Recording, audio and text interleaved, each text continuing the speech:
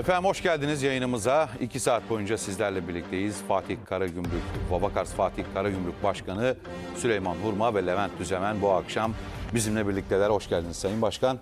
Hoş bulduk. Çok teşekkür Hoş ederim. geldin başkan. Hoş bulduk. Yoğun mesai içinde olmasına rağmen kırmadı katıldı programımıza Levent abi, Süleyman Başkan. E, arada bir dostlarımızın içinde olmak bize de keyif veriyor. Aynen. Var Bizim de, olun. bizim de zaman zaman tabii ki topluma söyleyeceklerimiz de oluyor. Dolayısıyla bur- burada olmaktan dolayı da çok mutluyum. İnşallah güzel bir program olur. Ben önce Olur. Levent abime bir soru hakkı. Önce Levent abi siz buyurun.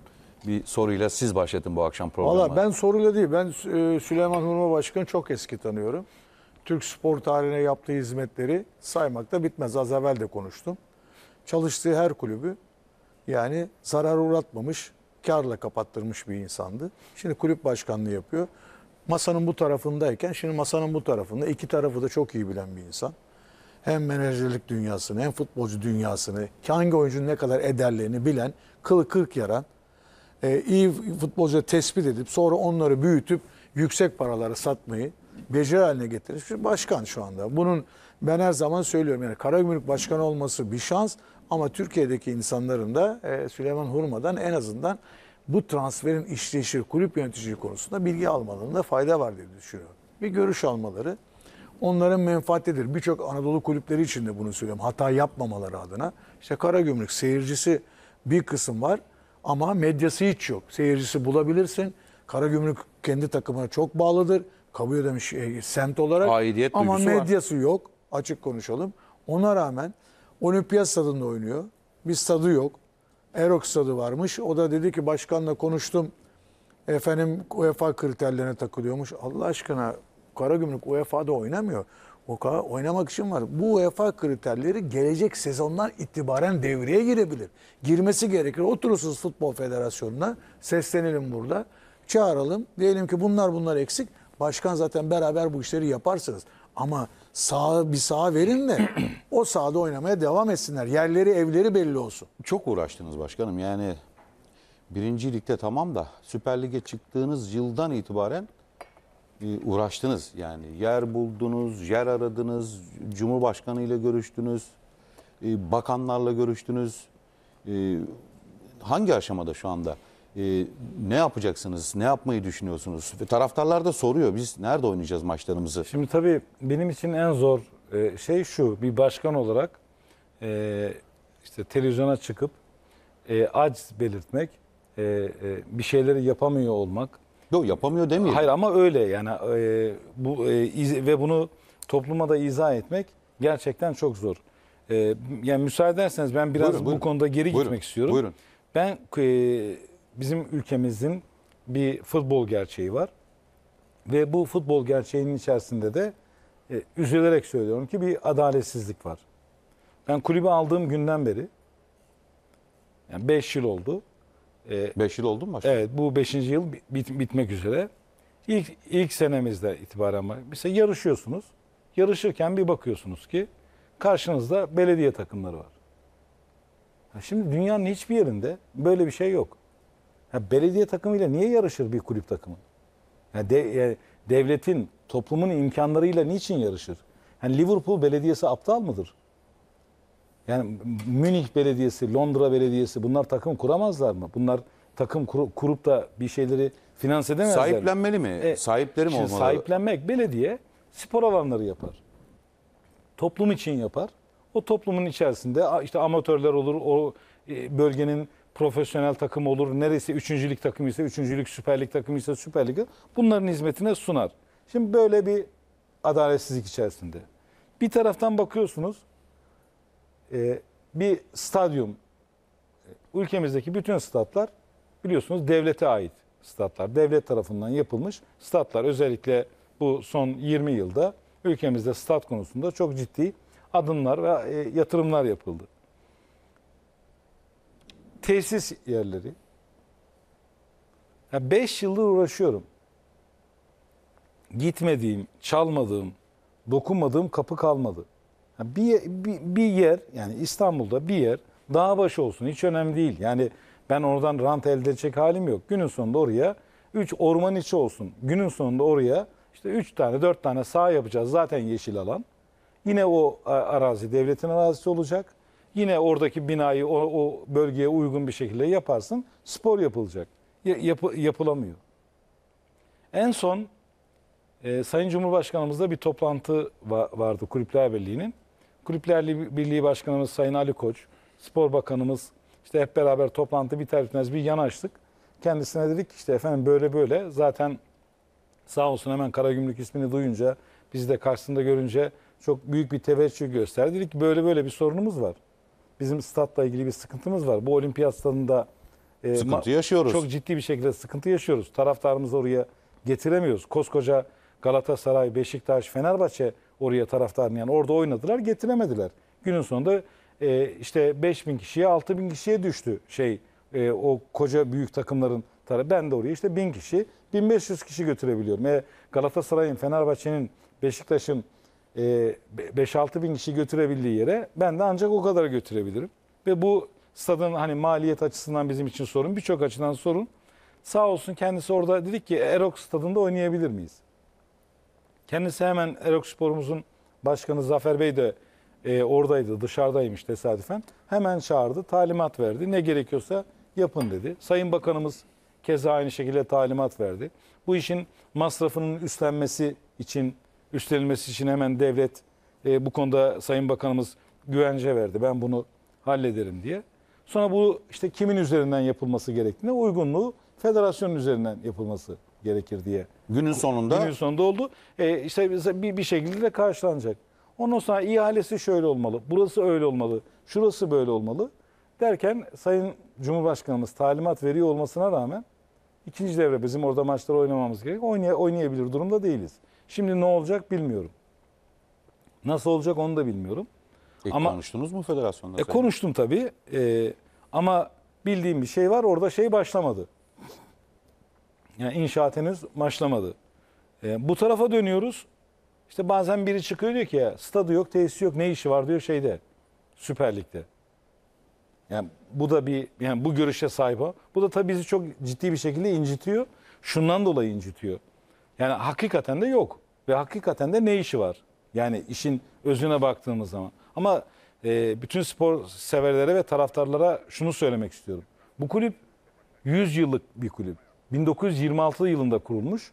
1980'lere kadar Levent kardeşim çok iyi bilecektir. Bu ülkenin en önemli kulüplerinden bir tanesi. Vefadan, e, Karagümrük sahasından geçmeyen futbolcu sayılmazmış. Yani Türkiye'nin Wembley'iydi orası. Şimdi öyle bir kulüpten bahsediyoruz. Yani dün kurulmuş 10 yıl önce e, şeyin bulunduğu bölgenin bile esamesi olmayan bir yerden bahsetmiyoruz. Böyle bir yerden bahsediyoruz. Bölgede bugüne kadar vatanına, milletine, devletine, dinine de sağlam ve sağlıklı bir bölge olmuş. Şimdi böyle bir yerin hiçbir şeyi yok. Peki diğerlerinin nasıl? Yani diğerleri bunu kendi imkanlarıyla, kendi paralarıyla, kendi ekonomileriyle mi yapmışlar? Hayır. Hepsine devlet yapmış vermiş. Bu arada Şimdi- unutma hoca, başkanım Enyaşmiye'yi açıkladı Başakşehir. Lise gitmiş hayırlı olsun. Zaten yayın öncesi de onu konuşuyorduk. Hayırlı uğurlu olsun. Hayırlı Türk uğurlu futbol olsun adına abi. önemli bir şey. Çünkü sürekli Türkiye'den para çıkarıyoruz. Ee, Türkiye'ye bu anlamda para gir, Değil mi abi? O çok tabii, önemli. Futbola para giriyor olması çok önemli, çok başarılı. Becerenleri de tebrik ediyorum. Bu çok önemli ve değerli bir şey. Hayırlı uğurlu olsun. Şimdi bütün bunları e, bütün bunların içerisinde adil bir yarışı sürdürmek ge- gerçekten mümkün, mümkün değil. Dönüyorsunuz bu tarafa. İşte e, hiçbir dönemde hiçbir şekilde Türkiye Futbol Federasyonlarının destekleyebildiği yani desteklemekten kastım e, adil olarak destekleyebildiği bir kulüp olamıyorsunuz. Yani 2B'de ligin 3 katı kuvvetli bir takımla playoff'tan zor çıktık. Süper Lig oyuncularıyla oynadım orada. PTT'de o ligin yine 3 katı kuvvetli bir takımla yine playoff'tan zor çıktık. E, Süper Lig'e geldik. Adana Demir de değil mi abi o Bursa'daki final? Evet. Süper Lig'e geldik. Biglia gibi bir oyuncuyu getirdik. Fabio Borini gibi bir oyuncuyu getirdik. Viviano. Viviano gibi bir oyuncuyu getirdik. Badu Endia'yı getirdik. Bertolacci'yi getirdik. Çok önemli dünya markası olmuş. Bonservisi 25-30 milyon euroları görmüş. Oyuncuları aldık buraya getirdik. ligin en iyi kadrosuyla 8. olmayı zor becerdik. Bir, bir sonraki seneye keza yine aynı şekilde yine çok ciddi, çok güçlü, çok kuvvetli bir kadro kurduk. İlk devre 13 tane kırmızı kart gördük. 11 tanesi itiraz gerekçesiyle, 2 tanesi oyun gereği. Bizim takımımız biliyorsunuz hepinizin çok takdir ettiği, benim de çok gururlandığım bir şey. Bir, tekme atmaz. Oynarken hani büyük takımı durdurayım, şu takımı durdurayım diye. iki yerde yatmaz ve oynar. Yani ne olursa olsun oynar. Günün sonu, bu, işte bu sezon görüyorsunuz. Kaç tane 90 artı 5'te, 90 artı 7'de, 90 artı 10'da gol yedik. Bizim takım da herhalde yerde yatmayı becerebilirdi oraya. Şimdi böyle bir takım artık hani olmaz buna bir şey yapamayacağız. Bu, bu takımı düşüremeyeceğiz, bu takımı yoldan çıkaramayacağız deyip yakamızı bıraktılar. Gelip ancak 8. olabildik. Her iki sezonda da UEFA Kupası'na katılabilmeyi yani hak eden bir oyun, hak eden bir kadro vardı. Peki ne kaybettik o sürede? E, UEFA Kupası'na katılsam ona 10 milyon euro kulübün para kazanacak. 10'ar milyon eurodan 20 milyon euro para kaybediyoruz. Oyuncu satma imkanını kaybediyoruz. Başka bir şey. Şimdi bu seneye geldik. Yine keza aynı şekilde. Yani değişmeyen, e, her şey değişiyor.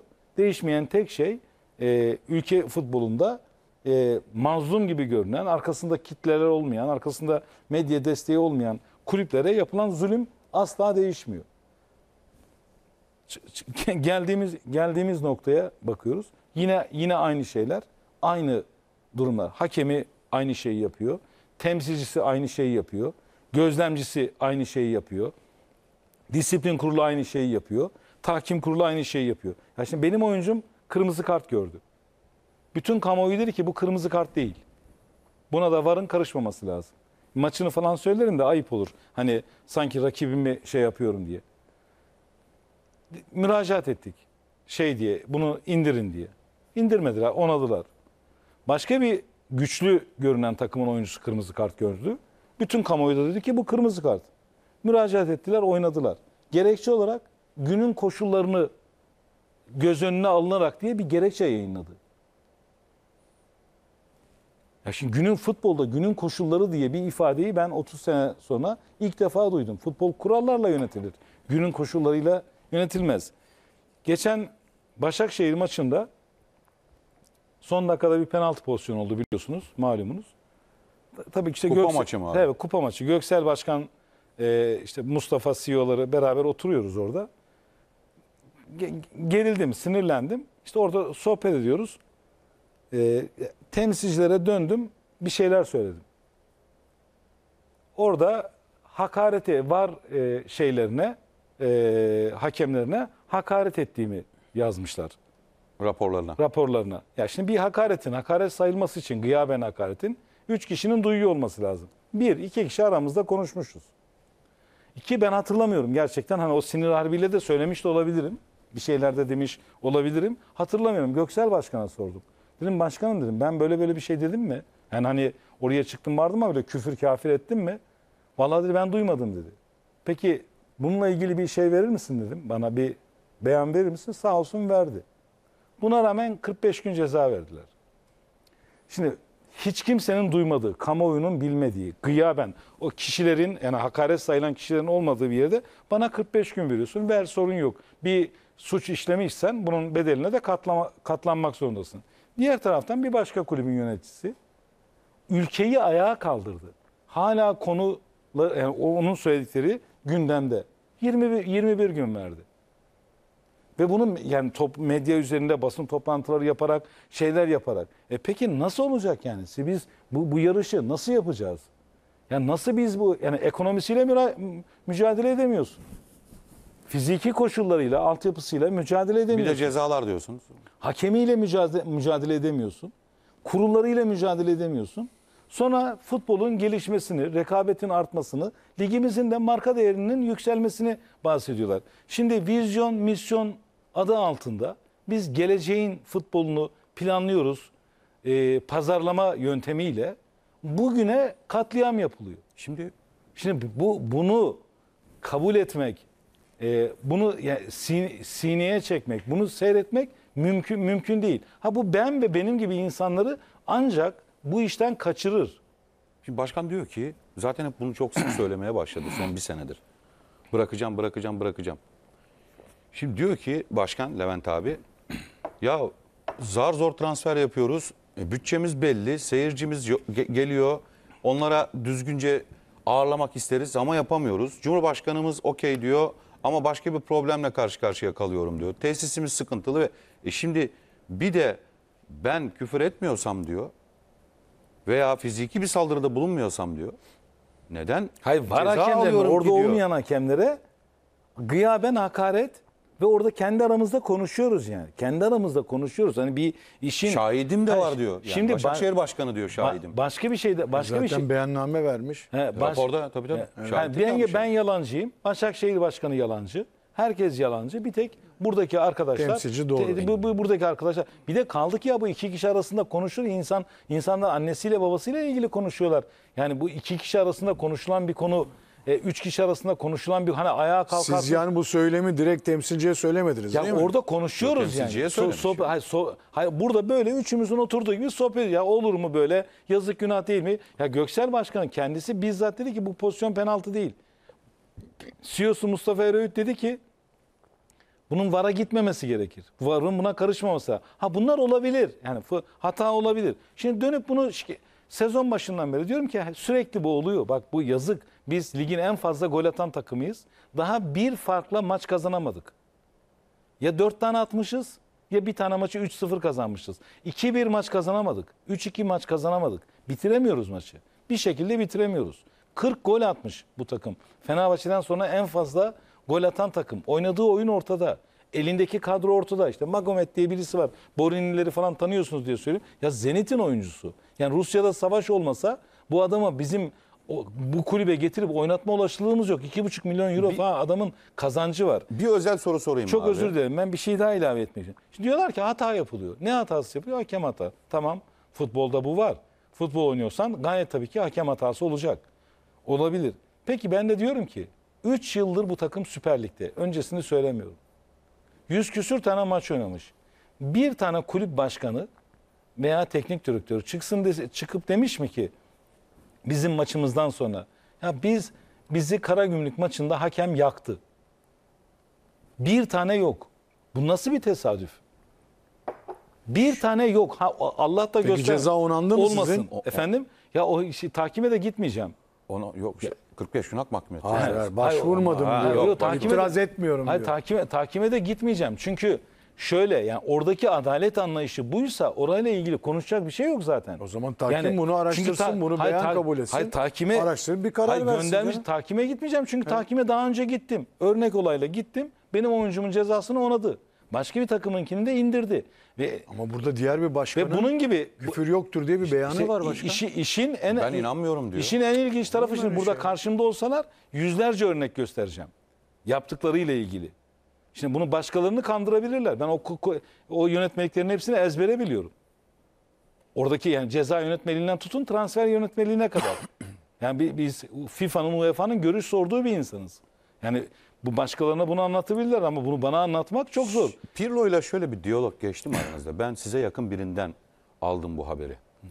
Buradasınız ben de yüzünüz burada sorayım. Pirlo bir gün isyan ediyor. Diyor ki başkan yani çok hata, hakem hatası var bu ligde. Yani eee, bu hakem hataları benim konsantrasyonumu, oyuncularımın konsantrasyonunu bozuyor. Ve sinirli bir diyalogla sizinle Şimdi konuşuyor. geçen- Hatta siz de orada böyle bir masada bir anlatıyorsunuz. Durumu neyse ortam yumuşuyor. Hatta ayrılmayı da düşünmüş galiba. Yani Bilmiyorum.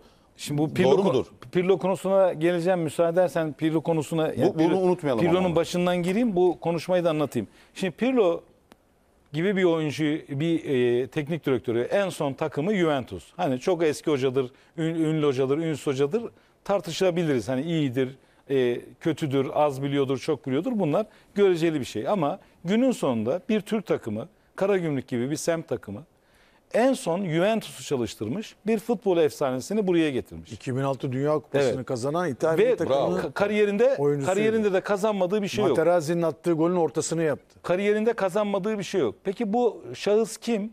Aynı zamanda Dünya Kupası'nın yüzü. Evet. Yani bu Dünya Kupası oynanırken dünyanın her Reklamlarda, yerinde tanıtımında geldi. e, Dünya Kupası finallerinin Katar tanıtımıyla tanıtımında ilgili vardı. Evet, tanıtımıyla ilgili olan kişi. Geldiğin zaman bizim takip edebildiğimiz kadarıyla, bizim medya bölümünün takip ede- edebildiği ka- kadarıyla 100 küsur ülkede 1180 haber oldu. Bu bu şey bu kişi. Yani futbola bir futbola ve ülkemize aynı zamanda da bir değer Marka, katmaya, tabii, tabii. bir marka değeri katmaya çalışıyoruz. Bütün işte Fransa'da e, Cup'ten tutun bir sürü e, yurt dışı basın bizzat İstanbul'a kadar gelerek Pirlo ile ve ekibiyle ve bizlerle röportaj yaptı. Cup 6 sayfa ayırdı bize. Yani e, bir Türk takımına belki daha önce yapılmışlığı yoktur. Bütün bunları yani bir, bir şey yaparken de yani bu işi yöneten insanlar futbola katkı sağlayan insanlarla futbola köstek olan insanlar arasında en azından pozitif ayrımcılık yapar. Yani biz ondan vazgeçtik. Bir de şey yerle bir etme modu.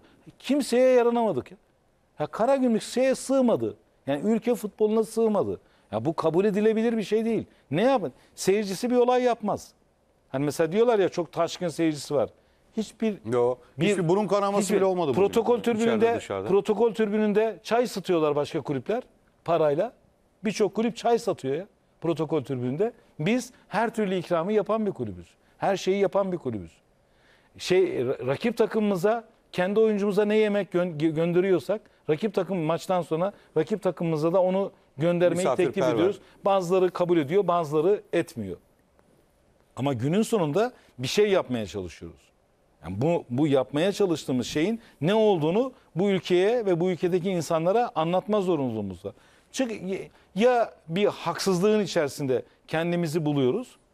Bir tane demecim yok hakemle ilgili sezon başından beri. Hocamın da yok, oyuncumun da yok. Ki hoca çok yapmak Evet. istedi galiba. Şey, yok. Ya Yani bir şekilde kulübeden, sinirlendi. kulübeden Ya yardımcısı şimdi Pirlo haksızlığa tepki koyuyor. Dünya Kupası'nda bile reaksiyonu sınırlı olmuş biri burasına geldi artık kulübede şey e, agresifleşti. Evet. Pirlo, Pirlo'dan bahsediyoruz.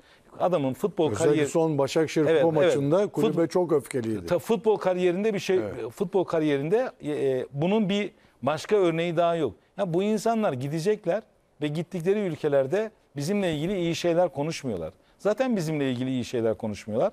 Şimdi biz kendi bu yerel rekabetimizin içinde boğularak her şeyi çirkinleştirerek, her şeyi gücün yanında, adalet gücün yanında olmaz. Adalet herkes için adalettir. Büyük için de adalettir, küçük için de adalettir. Öyle takım içinde, böyle takımın ha dünyanın her yerinde şunu ben kabul ediyorum kesinlikle.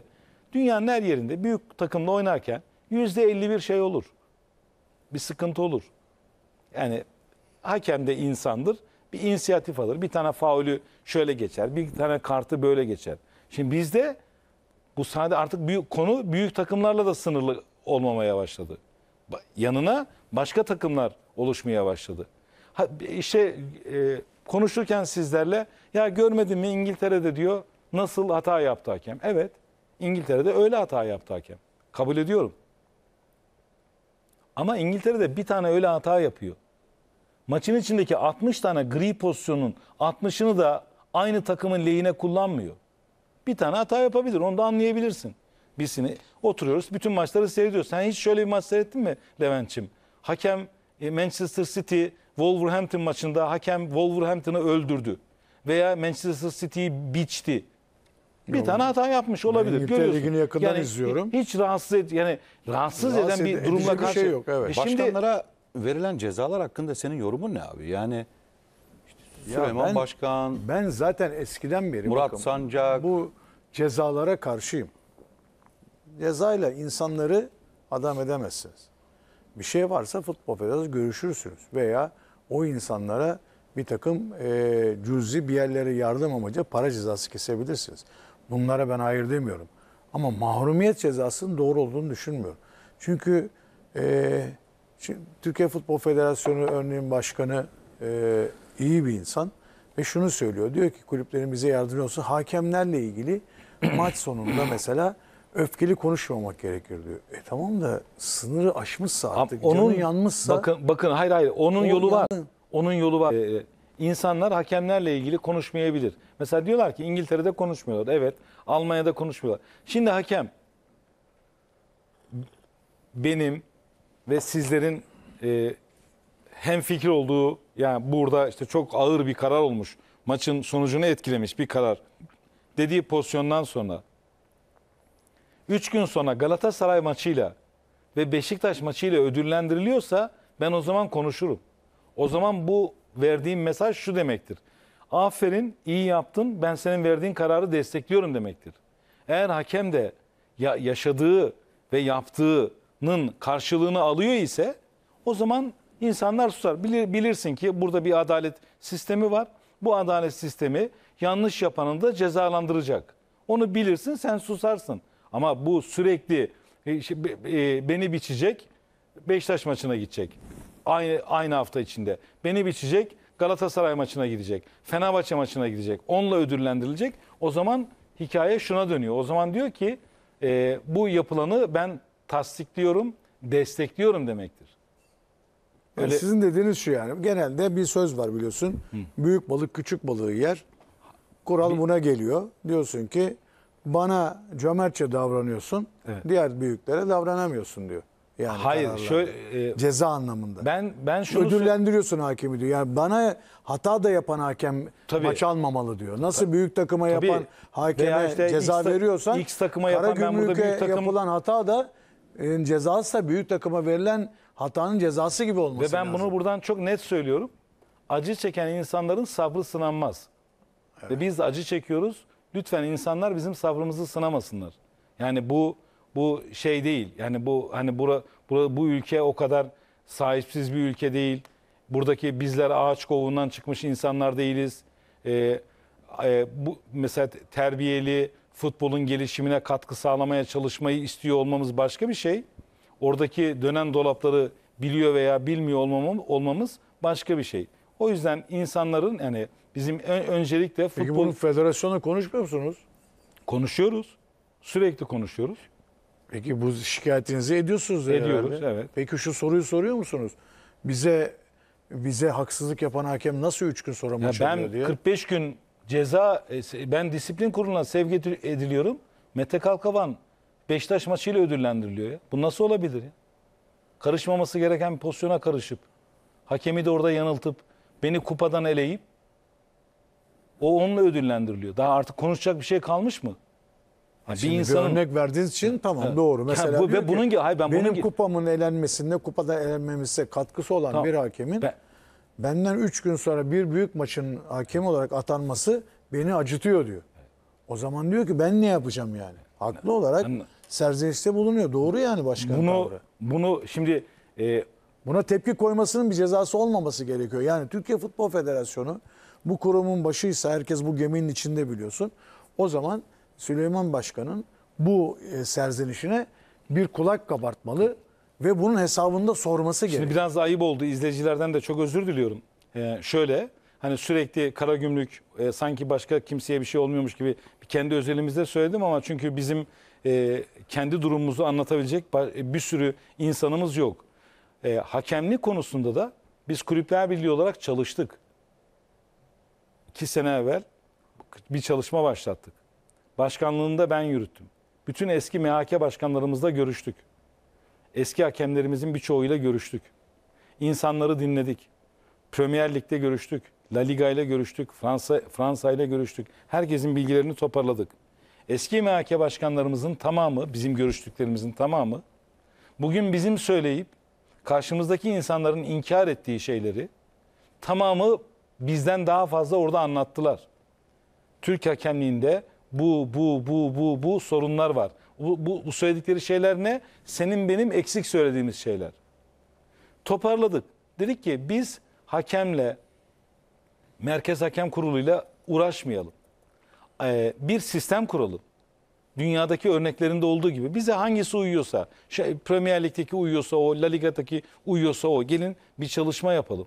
Anlaşılabilir, şeffaf, denetlenebilir bir düzen oluşturalım. Hakemimizi düzgün yetiştirelim ve futbolumuzun marka değerini artıralım. Bunu yaptığımız zaman, güven ortamını sağladığımız zaman zaten insanlar konuşmaz. Ancak asaletin olmadığı yerde adaletten bahsetmek de mümkün olmaz. Çünkü bir insanın adaletle hükmede, e, hükmedebilmesi için öncelikle asalet taşıyor olması lazım. Bugün mesela Kusura bakmasın insanlar. Sizi izleyen birçok kulüp başkanı diyordur işte. Sayın Başkan söyledi bana da yapılıyor diyordur mesela. Doğru. Tabii canım Öteki bunlardan biri ki- de Kayseri Başkanı. Şimdi Bakın. bakın Şamlı değil mi? E tabii Bakın. yani kulübün hakkını söylüyor diye ceza verilme noktasına gelir mi ya? Bir defa Türkiye hemen veriyoruz. Şöyle bir şey yani. İndir kafanı, kaf- çıkarma başını diyorsun kafasına vuruyor sopayı. Bu doğru bir şey değil. Kulüpler Birliği var. Beraberse çağırın bir konuşun bir dinleyin ya. Bir dinleyin. Yani adamın canı yanıyor bir kulüp yönetiyor ya. Kolay bir şey değil. Yani tahtası kapalı. Ki- Transfer yapamıyor. Kayseri için diyorsun. Evet. Yani orada canı yanıyorsa bir konuda, onu söyleniyorsa, o serzenişte bulunuyorsa vay niye konuştun? Hayır. 20 Ocak'tan itibaren bu cezalar başlamış. Verilmeye ondan evvel Yok, hariç. öncesinde vardı da bu e, şey, 20 20 Ocak Ocak'tan resmi- sonra e, başka şey, futbolculara da e, futbolculara Verilecek da mesela burada. işte diyelim ki e, hakemin etrafında toplandılar. Hakem sarı kart göstermese dahi, dahi e, şeyden seyredip görüntülerden seyredip verecekler. Bolcanın Bakın, cezası verecekler. Asıl Tabii önem- hayır hakimin etrafına gidip baskı yapıyorsun diye dediği gibi o da ceza alacak. Tabii. Asıl önemli olan şey şu. Ee, insanların bu duyguyu taşıyor olması. Eğer toplumun yüzde doksanı bu konuyla ilgili yani büyük takımlar diyor ki adalet istiyoruz. Öyle değil mi? Evet. Küçük takımlar diyor ki adalet istiyoruz. Medyada konuşan arkadaşlar diyor ki bu olmuyor, adalet istiyoruz. Maçı seyredenler diyor ki adalet istiyoruz. Toplum bu duyguyu taşıyor ise şayet bunu inkar yöntemiyle çözemeyiz. Bunu çözmek zorundayız. Yani hangi sebeple olursa olsun toplum bu, burada olan yapılan işlere güvenmiyor. Güvenmeme ne- nedeninin ne olduğu önemli değil. Sebepler sonuçları değiştirmez. Sonuçta insanlar buna güvenmiyor. Şimdi biz gerçekten bu işi düzeltmek istiyor isek ortaya akla uygun bir irade koymak zorundayız. Ve koyduğumuz iradeyi de herkes anlamalı. Herkes demeli ki bu anlaşılabilir bir iradedir, anlaşılabilir bir yöntemdir. Evet bu yöntemle olabilir. Peki başka nasıl olur? Bu yöntemi şu insanlar yönetirse olabilir elindeki cep telefonunu kullanamayan insanlar gelip yir- 21. yüzyıla, 22. yüzyıla e, 2040'lı yıllara Türk futbolunu taşıyamaz. Bu Yani- çok sert bir açıklama E, oldu şimdi- ama şimdi- burada tabii bunlar kimdir Şimdi- bilmiyorum ama ben mesela yöneticiler olarak kusura bakmayın size de bir e, sorum olacak Sayın Başkan. Siz şimdi Türkiye Futbol Federasyonu sezon başında bir açıklama yaptı. VAR kadrosu budur diye. Evet. Siz itiraz ettiniz mi VAR kadrosuna? Çok samimi bir soru soruyorum. Etmediniz. Bravo. Bir- Çok güzel soru etmediniz. sordun. Bakın bir, Bir şey, şey söyleyeceğim. Güzel Şimdi soru. ben şunu söylemek istiyorum. Sayın Başkan kusura bakmayın. VAR'a atanmış bir insanlar var. Siz kimsiniz? Nereden geldiniz? Ben artık sahada maç yönetmeyeceğim. VAR'da çalışıp hakemlik dünyasına üst düzey maçlar yönetmemiş insanlar yargıç bölümündeki yani Yargıtay bölümünde görev yapacak hakemlerin o koltuklarda oturmasına izin veriyorsunuz. Siz Kulüpler Birliği Başkanı olarak o gün kulüpler itiraz ettiniz. Böyle var olmaz diye. Şimdi bu Bunu bu- demediğiniz bu sürece konuda- ondan sonra lig başladıktan sonra bunu bizler söylemeye çalışıyoruz. Ehliyetsiz, ehliyetlerini elinden aldığınız insanlara siz e, tır kullandırtmaya çalışıyor Futbol Federasyonu. Siz buna müdahale etmiyorsunuz bu baştan. konuda- Biraz bu- kulüplerde mi kabahat var? Bence abi? de baştan oturacaklar diyecekler ki bu var kadrosu zayıf ya. Kulüplerin- İstemiyoruz diyecekler. Şöyle e, burada bir e, sana katılmakla beraber bir katkıda bulunmak istiyorum. E, Türkiye Futbol Federasyonu Başkanı Sayın Büyükekşi kulüplere dedi ki ben dedi yeni bir anlayışla buraya geldim. Burayı uygun, adil, anlaşılabilir bir şekilde yöneteceğim. Ve sizlerden bir ricam var dedi. Lütfen 14 Kasım'a kadar bana müsaade edin. Hani ara olacak ya milli ara. Biliyorum. 14 Kasım'a kadar ben bir ön yargıyla işte şu hakem kötü, bu MHK kötü, bu e, iyi, bu şey demeyeceğim. Uygulamayı bir göreceğim. Bu uygulamadan sonra da gerekli tedbirleri alacağım. Kulüplere bunu söyledi. Bu e, bu söyleme e, bu söylemin karşılığında bazı kulüplerde evet e, bunlara bunlardan bir tanesi de benim. Evet biz dinleyelim. Bekleyelim. insana e, bunu yapma şansı verelim. Bazı kulüpler söz vermesine rağmen beklemedi. Açıklamalarını yaptı. E, ad- e, ta- taleplerde bulundu. Bazı kulüpler de sonuna kadar bekledi. Hiçbir açıklama yapmadı. 14 Kasım, Kasım'da ne olacağını göreceksiniz dedi. Bir 14 Kasım geldi. Biz şu anda bir şey görmedik. Henüz görmedik. Yani bir bir 14 Kasım'ımız var. Şimdi bazen şöyle biz bu işin e, bir de kendi aramızda da bizim sonuçta biz rekabet ediyoruz. Puanı benden alıp Glasgow Rangers'a vermiyorlar. Galatasaray'dan alıp işte e, Fenerbahçe'den alıp e, Leverkusen'e vermiyorlar. Fenerbahçe'den alıyor bana veriyor. Benden alıyor Adana Demirspor'a veriyor. Ondan alıyor başka birisine veriyor. O anda yani o e, bir de birçok şey şu futbol biliyorsunuz futbolun bir fanatizmi de var. Yani insanlar kendi arzularını adaletle sanıyor bazen. Öyle de görmek istiyor. Burada mesela o gri pozisyonu kendi lehine yorumluyor. Diyor ki bu böyle böyle olması gerekirdi diyor. Bunun ortadan kaldırılabilmesi için denetlenebilir, anlaşılabilir, şeffaf bir bi- biçimin ortaya konması lazım. Bunun da dünyada örnekleri var. Yapıyorlar insanlar. Ha şunu söylüyor isek bunu İngilizler yapabilir. Almanlar yapabilir. Fransızlar, İspanyollar yapabilir. Ama bu Türkler bu işi beceremez. Çünkü Türkler şaibeli işler yapmayı seviyor mu demek de- demeliyiz yani. Biz de yapabiliriz. Bizim de yetişmiş insan kaynağımız var. Çok değerli insanlarımız var. Çok bilge insanlarımız var. E, Bugün e, tek başına bütün bunları yapabilecek hukukçularımız var. İnsan kaynağı yönünden hiçbir zafiyetimiz ve za- zayıflığımız yok. Ama yapma sorunumuz var. Çünkü bir koltuğun içine üstüne oturan o gücü e, o gücün büyüsüne kapılıyor. Ama e, beylerin insanların dikkat etmesi gereken şey var. Sayın Başkan Bu emir koltukların- verildiği sürece bu sıkıntı olur. VAR'a atama yapan insanlar atama kim yapıyorsa maçlara atama yapan insanların ben adaletine inanmıyorum. Bakın kusura bakmayın. VAR'a adale atanan insanların o görev yapan insan adaletine inanmıyorum. Çünkü bu insanların çoğunu hakemleri tanıyorum. Ben de bilgi sahibiyim. Bunların yetenekleri bunları yönetmeye mümkün değil, izin vermez. Niye ta- niye E inanmıyorsun? Ben itiraz ediyorum. Kulüpler etmiyor bu işe. niye- Futbol Federasyonu müdahale etmiyor. Ed- edi- işte geçen gün dün buradaydı e, başkan. Ziraat Türkiye Kupası'nda en son çıktı. Ben uğurladım kendisini ve bir şey gösterdi başkan bana. Diyorlar ki mesela Karagümrük'ün maçı niye 9 dakika uzamış diye. Ya burada diyor ki adam gösterdi tekrar federasyon başkanı dedi ki bak Aykut sakatlanmış 80 saniye. Levent sakatlanmış 90 saniye. O- Bunu hesap etmişler. Total altında da avar hakemi imza atmış. Var hakemi de imza atmış. 11 dakika yapıyor. Hiç bir 11 şey- dakika uzatma Onu- ile ilgili buna itiraz eden kulüpler var. Onu onu onu bizimle yapacaklar. Tabii. Onu ben de oraya- diyorum ki ben kulüpler oraya- acaba oraya- kendileri tutuyorlar mı mesela? Oraya oraya oraya şöyle değil. Mesela oraya şöyle değil. Levent konuştu 20 dakika. Süleyman Urma konuştu 21 dakika. Aykut konuştu 15 dakika ile o, o olmaz. Zaten onu o- onu oraya yazmak hiçbir şey değil. Ben de her şeyi yazarım. Kronometre tutuyorlar diyor. Ya Abartı. Ben Siz de- mesela bir ben şey de- soruyorum. Sizin biriminiz var mı ben kulüpte? ben de sö- ben de oyuncu söylüyorum. da- sakatlıklarla maçında, ilgili. Kasımpaşa maçında Evet. Kasımpaşa Spor'un kalecisinin eline geldiğinde top maç bitmişti.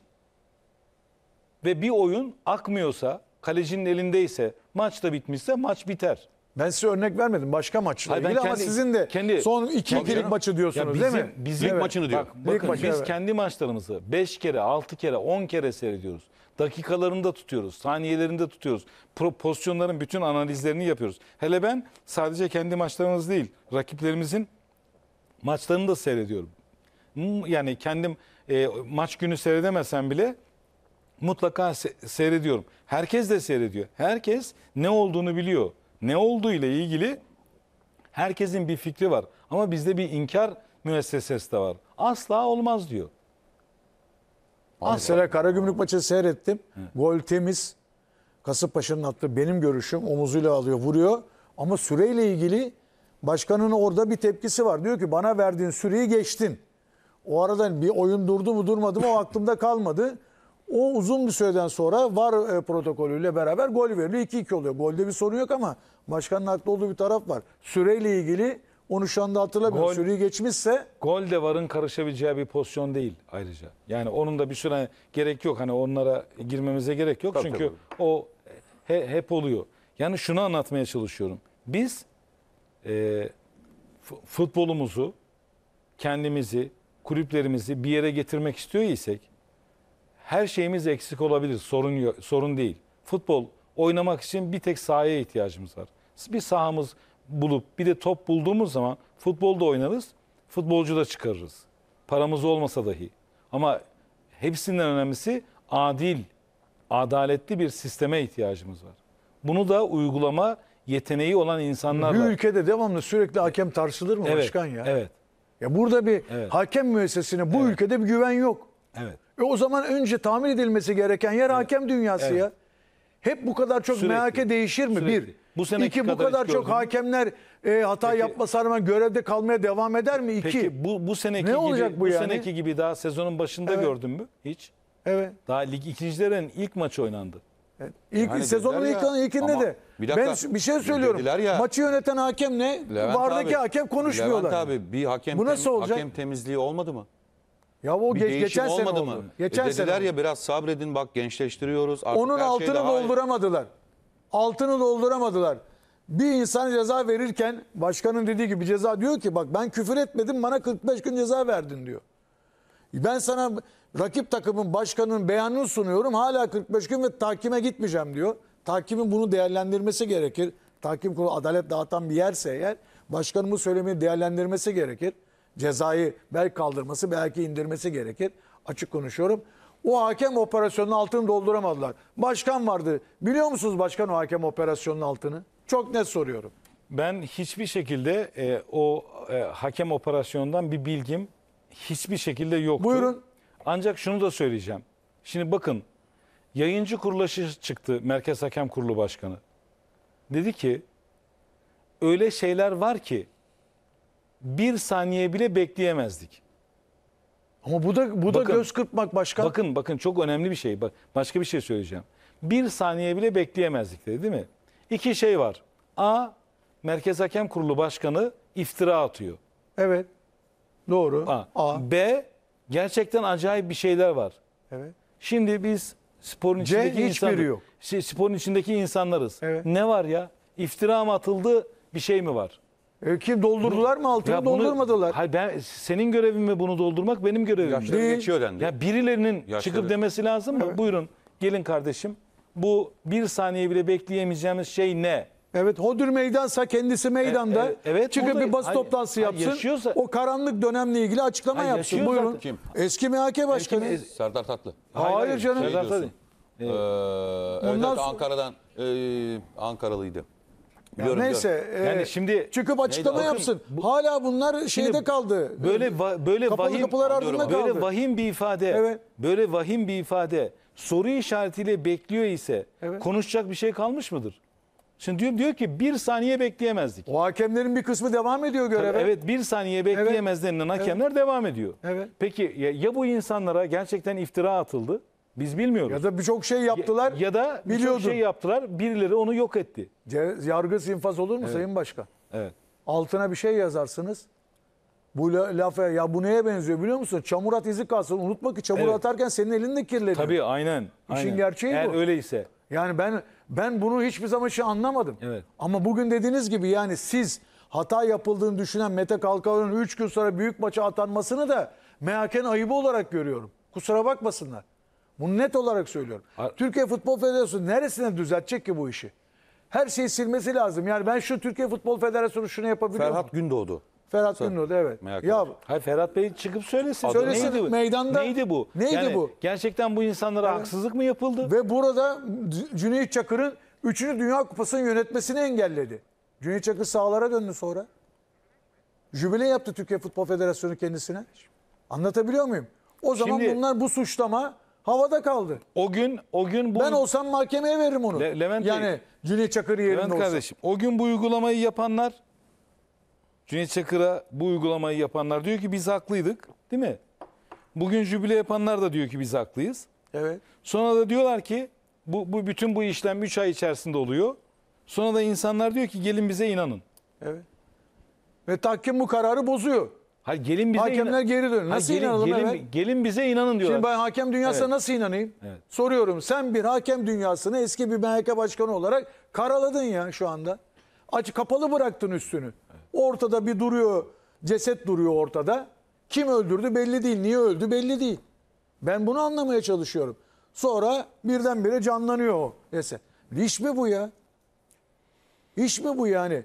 Sen bir dönemi karanlık yaptın şu anda. Hakemleri suçladın, operasyonu yaptın. Diyorlar Ben açıklama Ya bekliyorum. o bir dönemi karanlık yaptı. 6222 ili sayı yasa varsa ki bu ülkede var. Ferhat Gündoğdu'yu çağırırsınız. Sen bu operasyonu niye yaptın diye hesap sorarsın. Tabii, ya- ya Biz de bilelim abi. Bak, bak, e, Kamuoyunu aydınlatırsınız. şey, ya- Kusura bakmayın ya, yani. Ya o Üstünü ya, örtmeyin. Ya bir dönem karanlık Evet. e, bırakıldı, insanlara iftira atıldı. Evet. Ya bir dönemin üstü kapatıldı. Evet. Ben onu söylemedim. İkisinden bir tanesi Bilelim yapıldı. biz eğer Üçüncü- bağırsaklarımızı Bak, temizlemezsek bir ara- bir- bu yapmış iş olmaz. Ama, yapmış söylemiş. Demiş ki bu birinci kategori isimleri yıpranmış arkadaşlar olarak gördük. Şimdi bu Böyle bak- değerlendirdik. Yıpranmak başka bir şey. Herhangi bir suç saniye örgütleriyle- bile bakın bir şey söyleyeceğim. Buyur abi. Şimdi şunu Başkan söyleyebilirim. konuşuyor, Bakın Allah aşkına. Tabii tabii ona veriyorum. bakın bir Ya şey bak, söyle çok basit. söyle değil ya, Şimdi- önemli ya. Bakın Bak. şimdi buradaki hikaye şu. Biz şimdi diyebiliriz ki Levent Bey bu yayıncı kuruluşta yıprandı.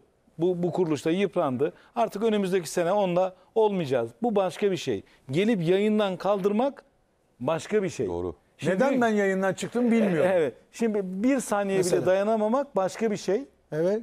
Yıpranmak başka bir şey. Yıpranmak ligin bitmesi. Sezon 10 sonu bitersin. 10 hafta var. Yaparsın, bravo. 10 hafta var. Bazı yıpranmak. arkadaşlar konumun üstüne davrandı diyor mesela.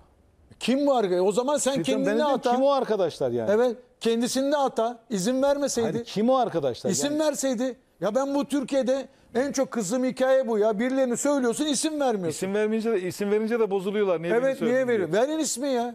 İsmi verin abi. İsmi vermeden çamur atmak ne kadar kolay ya. O dönem bilmiyorum Süleyman abi e, bilir.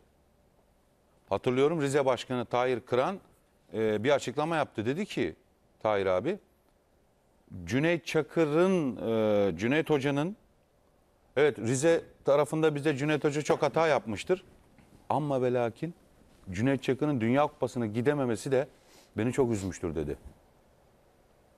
Ben sevmem dedi Cüneyt Çakır'ı. Bizatihi sevmem dedi.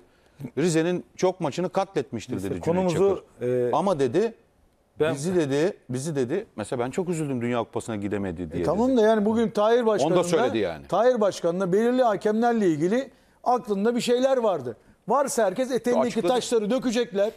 Biz de bu da- taşların ne olduğunu göreceğiz Aynen, ne biz- renkte olduğunu. Her bu şeyle ilgili bu tutuyor musunuz diye dediğiniz şeyle ilgili hani hakemlerle ilgili Ha ben siz mesela tutuyor- kulüpler biz data soruyorum. tutuyoruz. Ha bravo. Bizim- Bak başkan bizim- tutuyor mu? bizim kulübümüzde- Ben herkes tutacak. 11 dakika bana- doğru mu? 8 dakika Sü- doğru mu? Süleyman Bey yarın e, bütün e, tartışmalı dediğim pozisyonları getir dediğinde hepsi maç maç dakika dakika şey olarak hani bizim seçtiğimiz pozisyonlar var. Onları tutuyoruz. Kendi arşivimizde de bir gün onları belgesel yapıp yayınlayacağız tabii ki. Federasyon başkanı Şey- bize bunu gö- bana gösterdi başkanım. En az 10 tane maç gösterdi. Hepsinin uzatmaları karşısında tek tek gerekçeleri, saniyeleri yazıyor.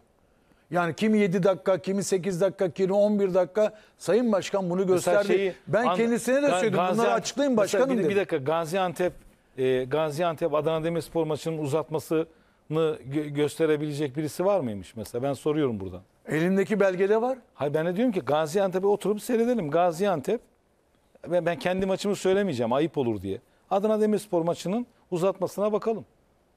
Kaç Bakalım çünkü abi? büyük bir ihtimalle bize göstermedi ama onda var yani. Bakalım. Yani bir, bu bir bakın, imzasız kabul etmiyorlar bakın, bu işi. İki imza var. Kulüpler kulüpler gayet tabii ki kendi açısından bakıyor. Ben de dahil hepimiz. Tamam. Kendi gözlemimizle bakıyoruz. Kendi arzumuzu adalet gibi sanıyoruz. Ee, işte bazı pozisyonlarda kendi düşündüğümüz gibi olabiliyor. Çünkü biz tarafız. Ama kulüpler her şeyi de yalan söylemiyor. Ben söylüyor demedim. Yok yok senin için Senin için söylemedim. söyleme ya. Yani Genel, genel olarak söylüyor. şunu için söylüyorum Sayın. Başkanım. Bakın ortak bir hareket etmek lazım.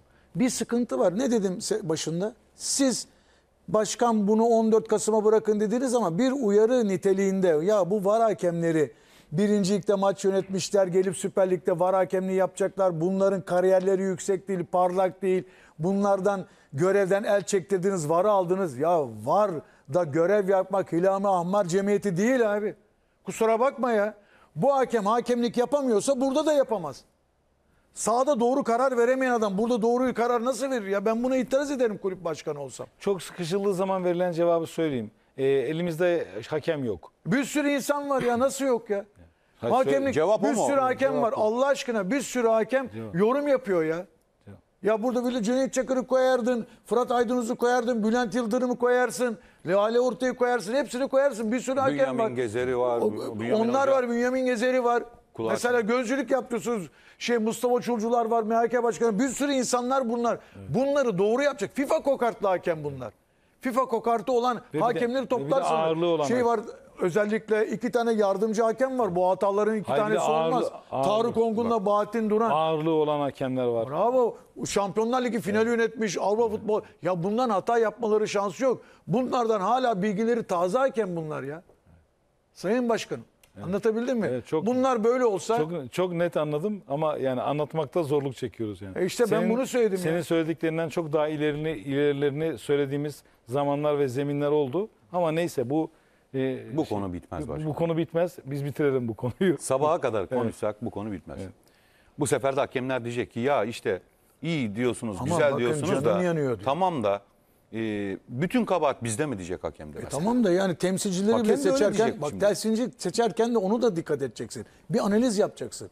Yıllardan beri aynı hakemler gözlemcilik yapıyorlar. ya Şimdi burası savunma arkalık yapmayı- dünyası değil ya. Şöyle savunma yapmayı konuşuyor isek e, savunmacıları için konuşacağız zaten. Evet. Mesela çimle ilgili bir şeyi konuşuyorsak çimcileri konuşacağız. Evet. Yani tabii ki biz mesela futbol futbolun bütün hatalarını e, kimseye yüklediğimiz yok ama adalet konuşuyorsak da adaleti beklediğimiz kesim hakemlerimiz. Yani ha, e, sokakta da hakimlerimiz, savcılarımız onlardan adalet bekliyoruz. Evet, Şimdi doğru. onların e, yani o, onların adaletinden biz şüphe düşmeye baş, şüphe duymaya başladığımız anda ne yaptığımız işi ne yaşadığımız ortamı yapama, yapamayız, kullanamayız. 30 yıldır Süleyman Urma Türk futbolunda hakemlerin adaletinden şüpheniz var mı? Var. Var. Ben mesela Sayın Hurma'ya stat zemini kötüyse hesabını başkana Tabii. sorarım. Tabii. Bu zeminde oynatman sizin suçunuzdur. Evet. Bakmıyorsunuz derim. Evet. Hesabını sorarım. Tabii. Kusura bakma. Bunu sorarım. Odanın görevi de orayı düzeltmektir. Evet. Doğru mu? Hakem dünyasında şikayet ediyorsa başkan MHK'nin görevi orayı düzeltmektir Türkiye Futbol Federasyonu. Haklı taraf bu. Bize düşeni biz düzeltiriz. Başkalarının düzeni onlar düzeltsinler. Eğer te- disiplin kurulu ve tahkim kurulu bir ceza veriyorsa, adaletsizlik varsa düzelteceksiniz. Düzelteceksiniz kusura bakmayın. O zaman oraya siz hukukçusunuz. Adalet dağıtmaya gelip adalet dağıtmıyorsanız ben sizin hukuk anlayışınızdan şüphe duyarım. Adalet duygunuzdan da şüphe duyarım. Kusura bakmayın o koltukta oturmayın. O koltuktan güç alarak yönetemezsiniz. Hukukçuysanız o koltuğa oturduğu zaman güç vereceksiniz. O koltuktan güç alarak yönetmek çok kolay ya. Ama güç vererek yönetmek beceri ister. Kusura bakmasın. Onun yüzden ben Türkiye'de disiplin kurullarına ve tahkim kurullarına hiçbir hayatımda güvenmedim. Birilerinin adamı olmayacaksınız. Adalet dağıtan adam birilerinin adamı olmaz. Birilerinin emrinde çalışmaz. Bu kadar net söylüyorum. Onlar kendileri net biliyorlar. Oraya girdiğin zaman hangi ceketin varsa va- olsun üstündeki ceketini çıkaracaksın. Adalet cübbeni giyeceksin. O ceketin üstünde renk olmayacak. Adalet cübbesinin üzerinde renk olmaz. Tamam mı? Adalet olur sadece. Tabi bu anlayan benim anlattığım anlayanlara karşımdakinin anladığı kadar oluyor bu işler. Yok yok anla- anlaşıldı. Çok net net çok net anlaşıldı. Devam Yani edelim birçok- mi? Bir iki dakikam var reklama çıkacağım. İnanılmaz soru geliyor ya. Yani hakikaten bu programda bayağı çok ciddi bir şekilde reaksiyon alıyoruz. Levent abi, Sayın Başkan teşekkür ederiz katıldığınız için. Ee, tabii açık görüşlü, net bir şekilde her şeyi anlattığınız için doğal olarak izleyicimiz net bir şekilde o enerjiyi sizden alıyor ve o paralelde de çok soru soruyorlar. Yani hatta şey diyen var Sayın Başkan e, biz senin üzgün olduğunu biliyoruz, kırgın olduğunu biliyoruz ama biz senin arkanızdayız diyenler de. Başka Var, takım bana da bir sürü taraftarı soru diyen geliyor. var. Hayır, ben başkan başka olarak- takım taraftarı Bak bana diyor. bir Hayır, sürü ben hakem şunu- dünyasından Süleyman abi, soru yani geliyor. sizin biraz üzgün olduğunuzu, benim benim oyuncum kırgın olduğunuzu Benim- Bak başkan hakem dünyasından bir sürü soru geliyor. İta- Ve tebrik ediyorlar. He, Yani İta- İtalya'dan oradan buradan gelmiş bir sürü ünlü oyuncum. Ben geçen takıma moral vermeye takımın yanına gittiğimde ne, e, neden ezildiğimizin cevabını verememek bir başkan olarak bana ıstıraf veriyor. Ben eziliyorum. bu işte çok Yani bu bu ben hayatımın hiçbir bölümünde, hiçbir yerinde, hiçbir işini yaparken bir e, şey yaşamadım. E, zafiyet yaşamadım. Ama bu günde diyor ki niye biz eziliyoruz? Niye sürekli böyle oluyor? Ne acı. Benim teknik direktörüm bana niye, neden bize böyle yapıyorları sorduğunda benim cevabım yok. reklamlar. Yani ben zayıfım o yüzden yapılıyor diyemiyorum. Süleyman Urma ve Levent Tüzemen'le birlikte transfer raporunun ikinci bölümüne başlamış bulunmaktayız. Ee, Süleyman Başkan'a hemen ben bir transfer sorayım tabii. Sor tabii. Yani e, hakem meselesi işte futbolun kalkınması, hararetle bir geleceği. kere geçti. Doğru şeylere Do- parmak evet. bastık. Başkan da ben de doğru şeylere bastım. Ama daha eksikler Bir var, soracağım. Ya şimdi bu onun zaman değil ama transfer raporu Evet. programı Bir transferi sonra ben de soracağım mesela. Tabii tabii arada Bu bakalım. işlerde Abi mesela- şu Borini'yi bir anlatır mısın Allah aşkına? Nesini? Çünkü e, Ya Başakşehir'le şimdi yarın anlaştı. gazetelerde çok net bir şey söylüyorum. Bununla ilgili çok ciddi haberler çıkacak başkan. Şimdi biz bugün açıklama da yaptık. Yine tabii e, birçok e, kesimi inandıramadı. Borini'yi İtalya'dan istediler resmi olarak. Hangi kulüp istedi E, başkanım? Yani onu şey, şey yapmayayım ayıp olur. Borini de gitmek de istedi kendisi. Dedi ki müsaade edersen hani ben şey yapayım. işte İtalya'ya ül- gideyim. ülkeme döneyim, ailem, şuyum buyum. Ben bu süreçte kendisine ve, veremeyeceğimizi söyledim. Vermedim. Türkiye'den bir büyük kulübümüz istedi. Yine benzer bir şekilde. Fenerbahçe miydi? E, değil. E, Fenerbahçe ile hiçbir temasımız olmadı Borini ile ilgili. E, arkadan dolaşan kulüplerim, o büyük kulübümüze dedim ki hayır vermeyeceğiz. Arkadan dolaşan birkaç kulübümüz oldu. Onlar da arkadan dolaştığıyla kaldı. Yani ben şu anda Borini gibi bir oyuncuyu böyle bir aşamada e, satamam. Yani satabilmem için en az onun kadar iyi bir oyuncu bulmam lazım. Yani 12 gol, 7 asistle oynayan bir kanat oyuncusunu ve e, attığından daha fazla kurtardığı var. Her maç 13 kilometrenin üstünde koşan bir oyuncudan bahse- bahsediyoruz. Ha işin e, ironik tarafı da şu. Bazı kulüplere de sezon başında ekonomik olarak sıkıntımız da vardı. Dedim ki şu Borini'yi alın. Bu çok büyük futbolcu, çok önemli bir, bir oyuncu. Yani e, geldiği ilk geldiği sene devre arasında almıştık biz biliyorsunuz bunu. Doku- kenardan 9 golle oynadı. O zaman da e, yarım devrede 9 gol attı. Sonra geçtiğimiz sezonun son hazırlık maçında tarak kemiği kırıldı. İyileşti geldi. iki maçta 3 gol attı. Sivas'taki kupa maçında beline bir darbe aldı. Orada bir kırık oldu. Ve geçen sezonu kötü geçirdi. Ama Borini bugün keşfedilmiş bir oy- oyuncu değil ki. Borini Chelsea'de oynamış, Milan'da oynamış, Liverpool'da oynamış. E, herkesin bildiği, tanıdığı, önemli, değerli bir oyuncu. Meşhur, meşhur bir Evet, de- değerli bir oyuncu. Dolayısıyla şu anda e, e, dediğim gibi Fenerbahçe kulübüyle hiçbir görüşmem olmadı. Hiçbir şeyim olmadı. Galatasaray mı istedi başkanım? ben Beşiktaş istedi diye biliyorum. Yani o şöyle. Şu açıdan yani. Şu- Zaten siz Hayır, vermiyorum şunu- dediniz. Hayır şunun için söylemek istiyorum. Şimdi ben e, karşı kulüpleri de incitmek istemiyorum. Yani bir Doğru. kulüp İncitecek istedi, şey yok. hayır bize istedi de- bize gelen 3 Ha, kulüp yani geldi. başkan. Sezon başı mı istendi? Başakşehir, Arada. Arada. Beşiktaş ve İste- Fenerbahçe'nin is- ismi. istedi de alamadı, var. istedi de alamadı Anladım, gibi anladım, anladım, bir durum anladım. o- oluşturmak başkan. istemiyorum. Yani Anladım. piyasada kızıştırmaya çalışmıyorum Anladım, yok, ama yok. hani ben e, bizim Borini'ye çok ihtiyacımız var. Yani ben e, Sezon sonu sözleşmesi bitiyormuş. Bitiyor başkan. evet. Ee, Biz de e, uzatma görüşmeleri yapıyoruz. İnşallah beceririz. Becerebilirsek beceririz. Beceremezsek e, nereye e, doğal olarak nereye isterse de oraya oraya Serbest kalıyor. O, e, serbest kalır oraya gider. E, bizim takım kaptanımız e, takım kaptanımız da öyle kolay kolay e, bir yere bırakmak istemiyoruz. Ama Borini gibi bir oyuncuyu bulmadan e, hani o çok yeri kolay doldurulabilir bir oyuncu değil. Yani ben mesela birçok oyuncuyu çok rahat satabilen birisiyim. Hiç sorun değil. Çünkü hemen daha iyisini bulabilirim. Ama Borini Sizden isteyen Türkiye'den kulüplerden, Evet. isteyen kulüplerden Boru'nun yerine hem satarak Ocak ayında hem de onlardan talep edebileceğiniz bir oyuncu var mı oyuncusu ellerinde? olsaydı e, bu konuyu gündeme alabilirdim. Ama yani. yani, o e, o takımda Şu e, kadar para isterim, onların şu oyuncu da o isterim takımda diye. onların bana ve e, e, Borini'nin yerini doldurabileceğim bir oyuncu yoktu. Dolayısıyla yani bana verebileceği bir oyuncu yoktu en azından. Anladım. Yani şimdi diyelim ki Galatasaray'la konuşuyorsun. Galatasaray istedi Borini'yi. Ver Kerem'i de al Borini'yi dersen olmaz yani. Hani sonuçta bir yapılan işin bir her iki taraf içinde bir makullüğünün ol- oluşması lazım. Aynen. Biz hani Borini'yi böyle bir aşamada kesinlikle bırakmayı düşünmüyoruz ve bırakmayacağız da. Yani işte bir, bir para kazanmak bizim için çok önemli. Zaten veriyor olsaydım İtalya'ya verirdim. Yani ve oyuncu da İtalya'ya gitmeyi çok istedi. Çok arzu etti. Ona rağmen kendisinden rica ettim, menajerinden rica ettim. Böyle bir aşamada ben seni asla bırakamam e, dedim. Kaç yaşında şimdi başkan? 30. İyi, iyi yaşı da iyiymiş ya. Güzel yaşta yani. Bayağı iş yapacak yaşta da.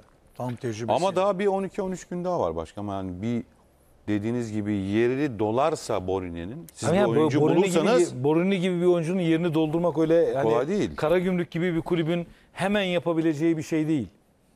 Yani Bunu hani Ama çok sizin ciddi bir çevreniz var. Ha, var hani Bir- o ama bir yine de hani futbolcu hani şeyiniz var yani. Sezon başı bunu çok rahat yapabilirim. Bilgi bankanız var. Evet, sezon futbolcuda. sezon başı olsa bunu çok rahat yapabilirim. Sezon başı çünkü önümde ciddi bir süre var.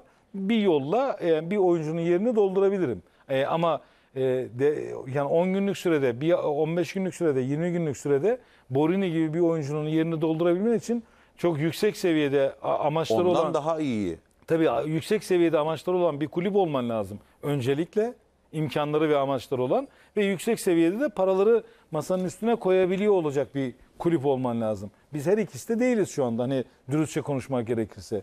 Dolayısıyla onu hani Büyük bırakmak size sadece e, para teklifi mi geldi? Para artı oyuncu ya teklifi geldi e, mi Sayın o Başkan? aşamaya gelmedik. Ben oyuncuyu bırakmayacağımı söyledim. Siz direkt E, direkt. Ağız aradılar. E, evet. Başkan Başakşehir'in teması oldu mu? Hayır. Olmadı. Andre Pirlo'ya gelen teklifler var mı? Çünkü Yani ben, ben de sizin gibi basından e, öğrendim. Belçika milli takımıyla Yani kendisiyle de konuştum. Kendisinin gönlünün de durumunun da burada olduğunu, şu aşamada bir yere gitmek istemediğini söyledi.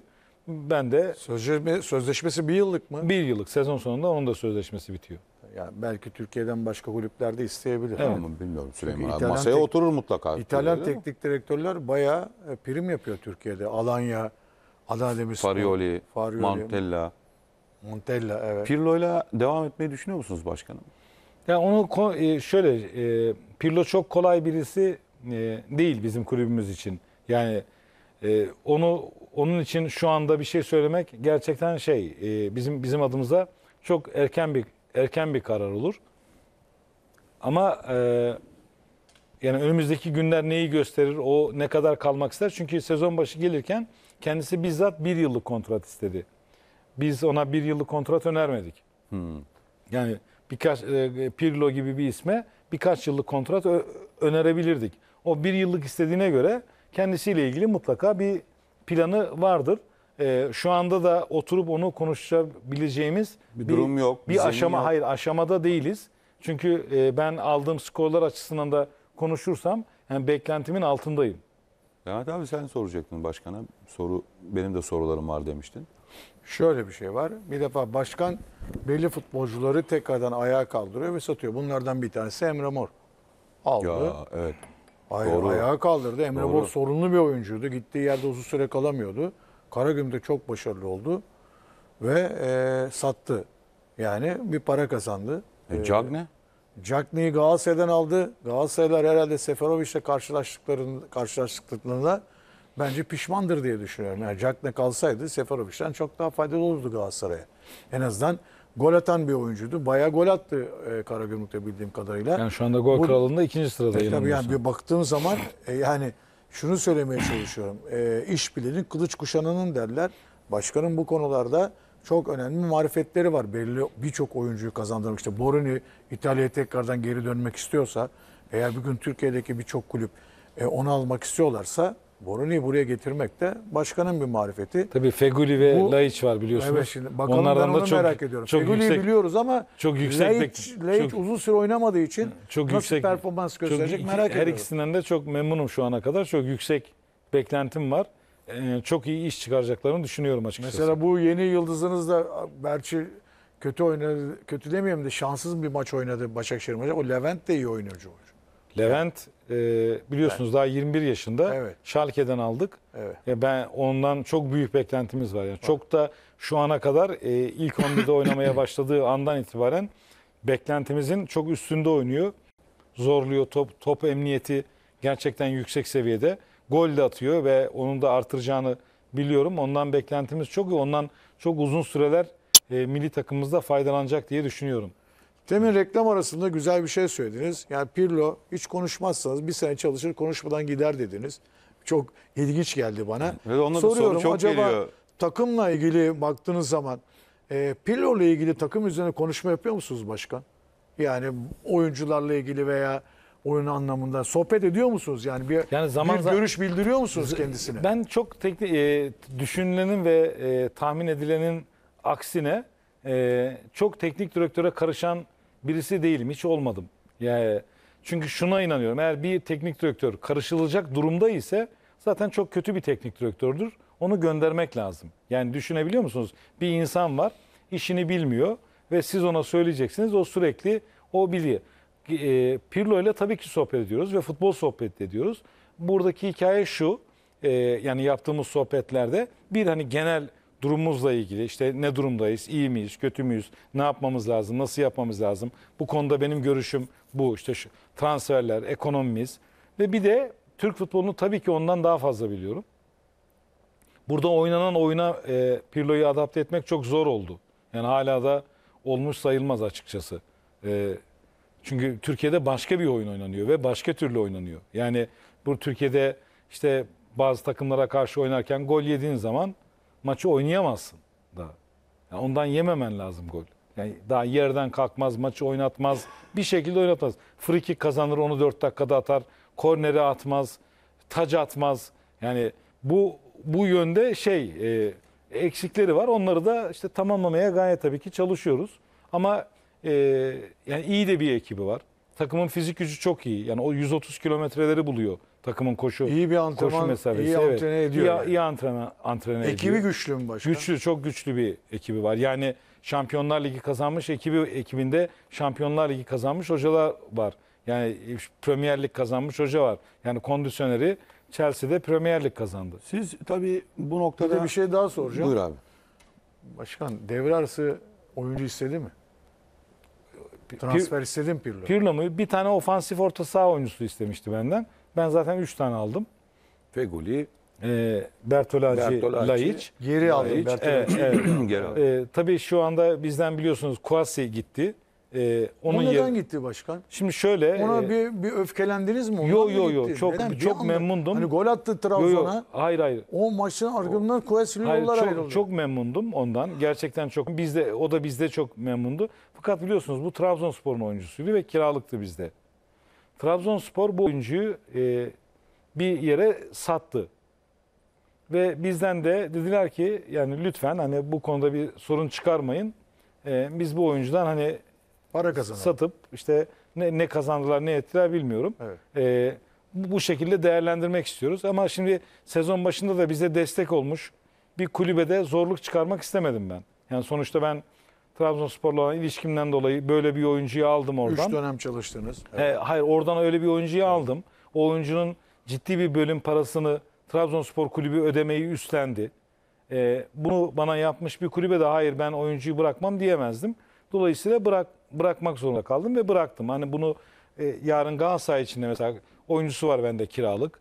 Yani böyle bir şey söz konusu olsa dese ki ben Kolaylık tanıdınız e, aslında. ben bunu Kiralık dediği kaleci galiba. Ha, evet. Batuhan var. Evet yani ben bunu satıyorum bir yere para kazanacağım E işte ve bu e, bizim için önemli bu, bu, bu hamleyi yapmam lazım derse sorun çık- ben çıkaramam yani bu futbol yapısı ve insani yapı İnsani açısından açıdan. ben çıkaramam. Dolayısıyla da çıkarmadım. Yoksa biz e, şeyden Kuasi'den çok memnunduk. Bir de Çok şey, da önemli bir oyuncu. Kuasi. Ödemelerde sıkıntı var mı başkan? Ee, şöyle bizim oyuncularımızla e, yaptığımız ödemelerde hiçbir sı- sıkıntımız yok. Şükürler olsun günü gününe gidiyoruz. Ama benim sıkıntım gayet tabii ki var. Yani ben oyuncuya yansımayan bir bölüm var. Tabii ki tüm kulüpler olduğu gibi biz de e, sıkıntıdayız. Hele bir de bizim dışarıdan öyle geliri olan bir kulüp hiç değiliz. Ee, işte sponsor bulmak, işte kombine satmak, çok fazla türbin hasılatı almak, e, işte çeşitli e, kurumlardan, kuruluşlardan yardım almak gibi bir durumumuz da yok. E, sa- sadece kendi durumumuzda çevirmeye e, çalışıyoruz. çalışıyoruz. benim tabii ki kişisel olarak sıkıntılarım gerçekten var. Hani çok kolay değil benim için Süper Lig'de bir kulübü bu imkanlarla çevirmek. Çünkü ben hani iş adamı falan değilim biliyorsunuz. Yani sporun içinden gelmiş bir insanım. İşte 30 senede ne kazandıysam onun hepsini aldım, e, kulübe koydum. Yani bir oka e, diyelim ki böyle 1 milyon euro birinden gidip borç alabilecek bir durumum da yok e, açıkçası. Tabii ki zorlanıyorum ama şükürler olsun oyuncularımla ilgili hiçbir sorunum yok. Yani biz maaşlarımız ayın 5'ine kadar maksimum yatıyor oyuncularımıza. Şu ana kadar bunu yapmayı en Sezon azından sonu becerdik. Biraz terletecekler mi başkanım? Sözleşmesi biten oyuncular var. Yeniden bir e, yapılanma olacak mı? Tabii bu sizin ligdeki gidişatınız da önemli. Yani ligi Şimdi benim nerede tabii bitireceğiniz kendi de... yapıma uygun olmayan en önemli şey şu. En büyük zorluğum şu. Biliyorsunuz ben uzun vadeli işler yapmayı çok seviyorum. ve hep öyle yaptım. Fakat e, ekonomik olarak e, güçlü bir kulüp olmadığımız için ge- genellikle kiralık oyuncu e, almak zorunda kaldım. E, şöyle işte İtalya'dan bir oyuncu aldım. Mesela Brask oynuyor bizde. İşte oyuncu işte kafadan atıyorum 1 milyon 400 bin euro kazanıyor. Bunun işte 350 bin eurosunu biz veriyoruz. Üstünü şey tamamlıyor. İtalyan Diğer kulübü İtalya. tamamlıyor. Şimdi hem kalite almak istiyorum hem de Az e, ödeyim bakıyorsun. az ödeyim istiyorum. Tabii öyle olunca oyuncuya sahip olmak çok kolay olmuyor ve bu oyuncular iyi oyuncular olduğu için de e, elimdeki kadroda sirkülasyon olmak zorunda kalıyor. Bu bende kadro devamlılığı açısından e, sıkıntı yaratıyor. Kariyerim boyunca hiç böyle olmadı aslında. E, bundan dolayı bir e, sıkıntım oluyor ama bu da mecburen yani sonuçta bu işin ekonomisini de düşünmek zorundayım. Çünkü e, günün sonunda o oyuncuların parasını ödemek zorundasın.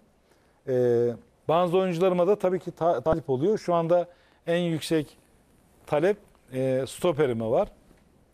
Şeye, Onu e, Ryan'a evet. e, ve Ryan. onu e, dünya çapında birçok kulüp istiyor. Onu elimizde tutabilir miyiz önümüzdeki sene onu bilmiyorum ama çok zor. Kiralık mı o O malınız bir mı? kendi e, şükürler olsun ki o kendi Peki oyuncu. sözleşmesi ne kendi- zamana kadar? Kendi oyuncumuz var uzun onun, onun sözleşmesi uzun çünkü onu sakat transfer ettim. ben. Başkanım bu arada bizim kameraman Ertuğrul da burada fanatik Karagümrük Evet. taraftarı. Evet, şeyde yayın- e, yayından ya- önce yayından konuştuk. önce Evet. ağzının içine bakıyor başkanın. Kim gelecek, kimi satacak, ne yapacak, Ama ne Ryan edecek? önemli bir Bütün. Ryan taraftarlar. tabii 22 yaşında Türk vatandaşlığı olarak oynuyor. Aynı zamanda İtalyan vatandaşlığı da var. Tahmin ediyorum büyük bir olasılıkla bir e, yani ya bu bu seçimde ya bir dahaki seçimde İtalya milli takımına da gidecek. Başkanım neden İtalya pazarı? Mesela siz bir yeni moda Bizim başladınız. için, bizim için mi? Sizin- söylüyorsun? ha bunun Sizin hiçbir için hiçbir artı bir artısı var galiba. Yani bize Şöyle, uygunlar mı? Artısı çok basit. Aslında bunun bir nedeni yoktu. Hani e, illa İtalya pazarını alalım biz onlar çok. Şimdi bir kalite demin biraz önce söylediğim gibi biz bir kalite satın almak zorundayız. Bunu da e, e, anlaşılabilir, becerilebilir bir ekonomiyle yapmamız lazım. Premier Lig çok pahalı. Pahalı pahalı. Bundesliga çok gerçekten çok pahalı. İtalya'da hem yüksek seviyede kalite var hem de rakamlar bir e, özellikle bu birkaç kulübün haricindeki kulüplerdeki rakamlar bizimkilerine e, bizim çevirebileceğimiz Tamam, Milan, seviyede Inter, Juventus, Roma gibi kulüplerin dışında dışına gibi bizim çevirebileceğimiz Doğru rakamlar. E şimdi Orada mesela- da fiyatlar aşağı. Tabii şimdi diyelim ki Cenova'dan çok yüksek seviyede bir oyuncuyu e, Karagümrük alıp kendisinde oynatabiliyor ve onun ekonomisini çevirebiliyor. Ama e, örnek olarak söyleyeyim ona yakın olan bir Premier Lig kulübü West Ham'dan bir oyuncuyu alma olasılığın söz konusu bile değil. Çünkü çok yüksek seviyede ücretler veriyorlar. Yani hani işte parasının bir kısmını vereyim desen onda birini teklif etmen lazım. Çünkü e, çok, çok- gerçekten çok yüksek. O yüzden de biz İtalya'ya doğru yöneldik. E, bunun- Kaç İtalyan futbolcunuz var? Vallahi İtalyan kulüplerinde bizimdeki kadar İtalyan oyuncu yok gibi. Yok o kadar. gibi bir durum var. Yani bir şey İtalyan takımı gibi bilmiyorum 7-8 tane Sayayım var. ben, sayayım bir abi. de işin en garip tarafı şu. E, mesela diyelim ki e, Koli İtalyan değil ama Bir. İtalya'da büyüme. İşte Cagne bile biliyorsunuz İtalya'da büyüme. İki. Yani İtalyanca konuşuyor. E, e, Pirlo'nun da işini kolaylaştırıyor. Tabii o diğer oyuncular da zaten tabii. İtalya'dan geçmiş oyuncular. Yani bence Pirlo'nun da avantajı Beş. bu. Yani Pirlo gibi bir teknik direktörü Yani getirmek Türk kadar var diye düşünüyorum. gelecek gelecek Hayır şimdi 5 orijinal İtalyan vardır. Diğerleri de mesela Koli İtalya'da büyüme. İşte Altı. bizim Cagne İta- İ- İtalya'da O büyüme. tabii. Bir, bir, bir şey, şey bile Laiç bile İtalya'dan ge- geçerek gelen yani öyle bir şeyimiz Yani var. Genelde başkanın söylediği doğru olan şu var. Gelecek sene eğer Pirlo'yu tekrardan yola devam ederse başkan tabii kendisiyle Pirlo da kabul ederse İtalyan oyuncular üzerine bir takım kurulabilir. Yani o, Ozdayev var mesela o da. da mesela Ozyev de Geleceği- oyuncu. Çok büyük yüksek seviye. O da Zenit'in oyuncusuydu. Evet, yani de- dediğim gibi Ama Rusya'daki kiralık mı o da başkan? 30 Yok bizim oyuncumuz. Rus, yani. Rusya'daki savaş olmasa onu Alamazlar. biz Zenit'ten Ozyev de birçok takımda oynayabilecek bir oyuncu. O da çok Korkunç yüksek kalite, yani büyük takım çok oyuncusu. Sen şey oyuncu diyorsun yani. Levent Mercan o.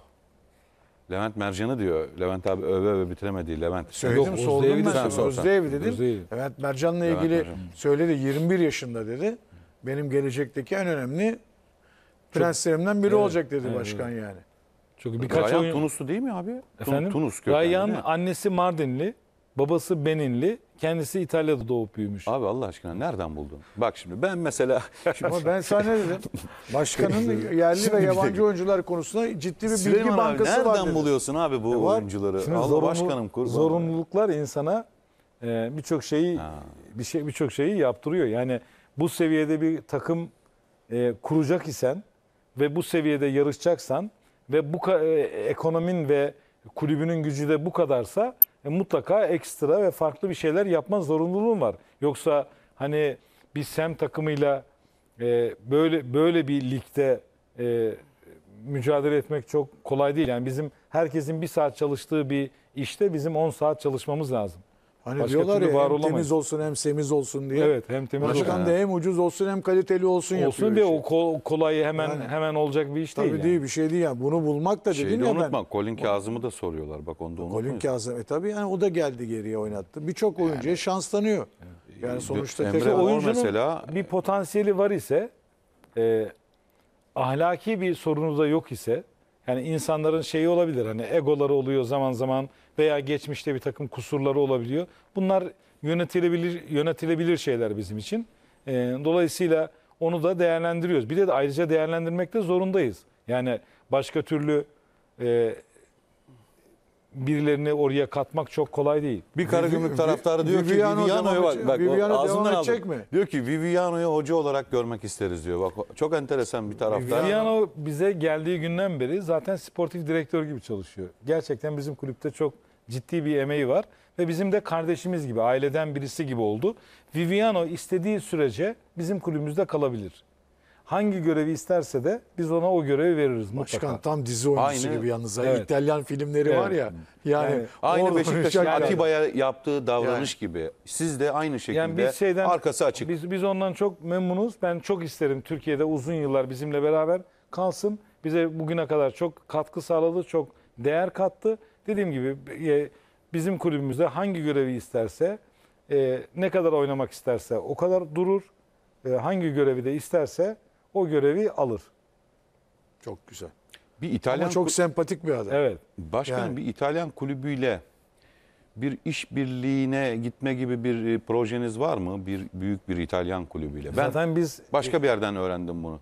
Biz zaten onlarla kulüp- çok ciddi işbirliğimiz var. Yani mesela Juventus'ta çok yüksek seviyede bir işbirliğimiz var. Yani Juventus burada birinin telefon numarasına bile ulaşamadığında bizi bizi arıyor. Yani bizim şeyde İngiltere'de de çok iyi işbirliği için. En büyük sıkıntı şu. Biz onlarla işbirliği yapmaya hazır olabilecek şeye gelemedik. E, seviyeye gelemedik. Eğer hani bir tık daha Ekonomik açıdan mı, görüşme açısından mı? Ekonomik açıdan, görüşme açısından çok iyi durumdayız. Eğer Ekonomik ekonomik, olarak, olarak, ve fiziki kulübün fiziki koşulları yani stadyumu, tesisi o açıdan e, olabilsek yani bir tık daha öne gelebilsek siz e, Türkiye Karagümrük'te şunu göreceksiniz. Yani e, oyuncu gelecek bizde oynayacak sonra bakacaksınız seneye Chelsea'de oynuyor, seneye Juventus'ta oynuyor, seneye Milan'da oynuyor ama o o, o seviyeye gelemedik henüz. Önce mesela tesis. bazı bazı oyuncular var. Mesela tam o o arada bir yerde. Yani Chelsea'nin yıldızı uyarmak lazım. Bu stat konusunda artık oynama izni verilsin ya. Erok stadında. Bravo. Bir Bence de verilsin Süleyman yani. Başkan söylediği laf e, her yerde şu an yazıyor. E, asaletin olmadığı yerde adalet olmaz. Bir insanın adaletle yönetilebilmesi için asalete sahip olması gerekir.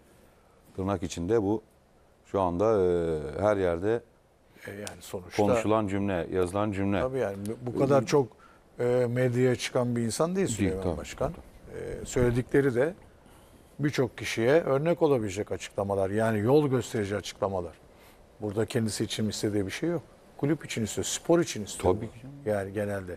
Birçok ünlü oyuncuyu buraya getiriyor ve her türlü teknik direktöre de görev veriyor. Ondan evvel Volkan Demirel'di. Şimdi Hatay'da o mesela çalıştı. E şimdi birdenbire Pirlo geldi. Yani belki Pirlo sonrasında daha büyük başka bir teknik direktör gelecek.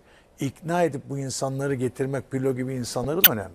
İtalya'nın en egolu oyuncusu olması lazım. Dünya Kupası kazandı. İtalya, İtalya Dünya Kupası Şampiyonlar kazanmadı. Ligi Nasıl kazandı. o görüşmeyi Şampiyonlar kazandı. yaptınız Yani başkan? Ya Bunu şimdi getirmek Bize onu kolay bir şey anlatsın değil. başkan bize bir anlatsın. Ne- Hayır, nasıl o- o, diplomasi nasıl yürüdü? Şeyden öncesi e, yani asıl önemlisi şu. Bir bir değer katmaya çalışıyoruz. Bu Bu çok değerli. Bazen yaparsın çok da iyi olur. Bazen olmaya da bilir. Yani getirdiğin kişi burada senin arzu ettiğin performansı, durumu karşılayamayabilir. Ama biz bir kere öncelikle kendi durumumuzla ilgili hiçbir yalan söylemiyoruz. Yani sahamız ne durumda, tesisimiz ne durumda, bizim ekonomimiz ne durumda, neyi yapabiliriz, neyi yapamayız. Hayal satmıyorsun Tabii tabii yani. hiçbir şekilde. Ama hedeflerimizle de örtüşmek istiyor insanlar. Çünkü e, bir tutkumuz var ve bir coşkumuz da var. Yani o bizdeki heyecan da şeye geçiyor doğal olarak karşımızdaki insanlara geçiyor. Yoksa Biglia'yı da buraya getirmek, Kolay değil. Borini'yi yani. de getirmek kolay bir iş değildi. Yani e, bunlar Viviano'yu da getirmek ko- kolay bir iş değildi. Viviano bizde oynarken kaç defa İtalya'dan teklif aldı.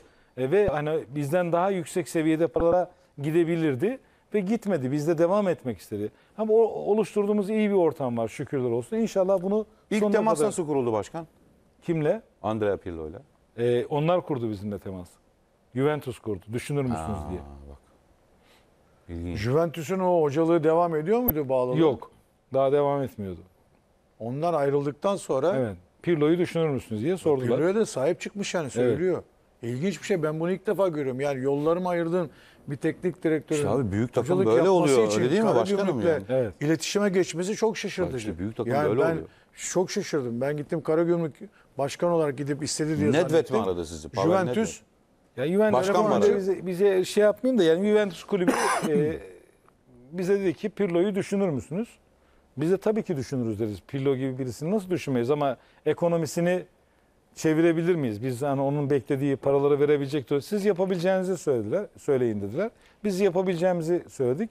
Pirlo da belli ki hiç parayı yani hani çalışmak istiyor ve bir şey yapmak istiyor. Hiç geldi ve başladı devam etti.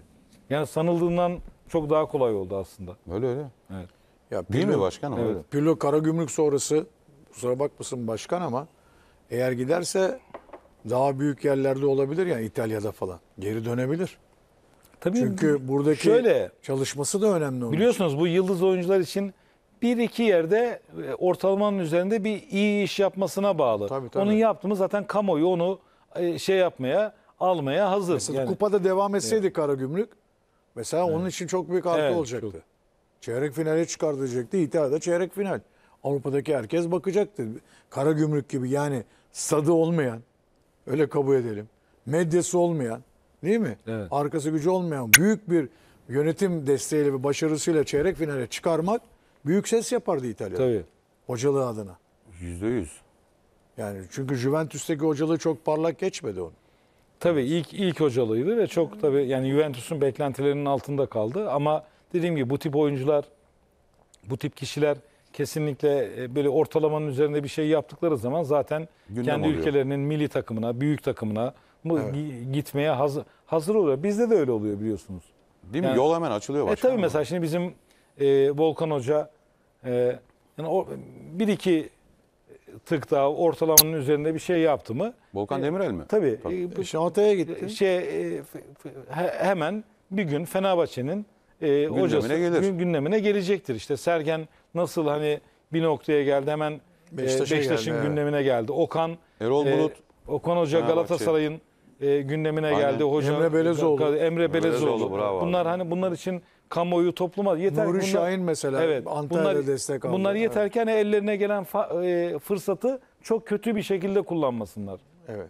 Yani bence de güzel bir iş. Yani Pirlo Türkiye futbolun tanıtım için de önemli. Bir de dediği gibi başkan vurguladığı önemli konu var.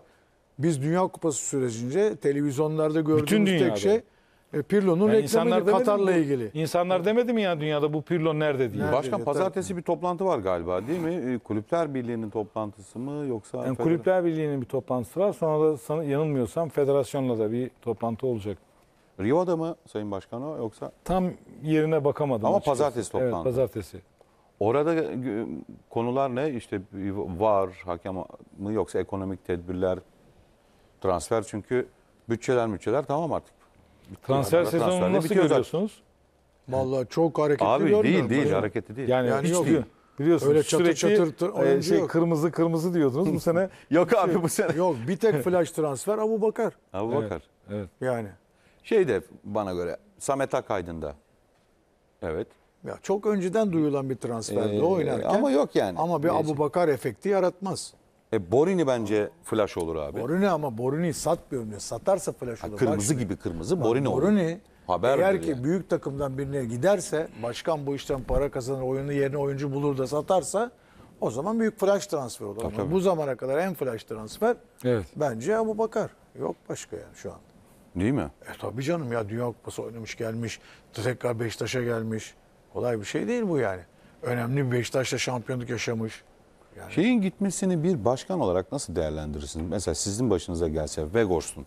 Şimdi herkes Geldi diyor ki biraz biraz önce söyledim işte benim Kuvasi de benim başıma. Kuvasi öyle oldu ya Yani, doğru. Yani şimdi Orada o- Vegors meselesini iç dinamiği bilmek mümkün değil. Değil, yani değil, hani- değil. Çünkü orada hani to- toplumun ve kamuoyunun bilmediği birçok şey vardır. Yani Detay. bazen mesela diyor ki bırakmayacaksın. Şimdi bırakmayacaksın demek de olmuyor bu iş. Yani o geliyor karşına senin maaş verdiğin, para verdiğin, oynatmak istediğin bu sonuçta insan, makine değil ki orada cansız bir şekilde tutup e, fişe takıp elektrikle çalıştırasın. İnsan hani bırakmıyorum dediğinde de başka bir sorunla karşı karşıya ka- kalıyorsun. Geliyor iki gün sonra ayağım sakatlandı diyor. Üç gün sonra uykusuzum bugün şöyle oldu diyor. Artık FIFA'nın öyle kuralları var ki oyuncu antrenman sahasına kadar gelmeyi becersin. Hiçbir şey yapmasına gerek yok. Parasını alır gider. Yani her, her türlü şey. Yayıç Bütün- yıllarca böyle yaptı Beşiktaş'a Tabii başkan. hayır öyle öyledir bu iş. Yani, yani kulüpler e, e, dünyada dünyada kulüpleri e, futbolu bekleyen önemli tehlikelerden bir tanesi de şu. FIFA bu tavrını sürdürdüğü sürece kulüpler zaten batmaya mahkum. Çünkü hani biz hep söylüyoruz ya Türkiye'de kulüpler hep batık ve bunu da söylerken şöyle söylüyoruz. İşte biz bu işi bilmiyoruz. Kötü yapıyoruz. İşte yöneticiler çalıyor, çırpıyor, şöyle yapıyor. Bir- Birbirimizi suçluyoruz. Ağır ifadelerde kullanıyoruz. İşte zayıfız, şöyleyiz, böyleyiz diyoruz kendi kendimize. E peki Real Madrid ne yapıyor? Onu şey 500 milyar e, euro, 500 milyon euro borcu var. Manchester United ne yapıyor? City, diğerleri ne yapıyor? Bugünkü futbol sektöründe bir futbol kulübünün kar etme olasılığı yani kar merkezli bir yer değil orası zaten. Hani kendini yürütme olasılığı söz konusu değil.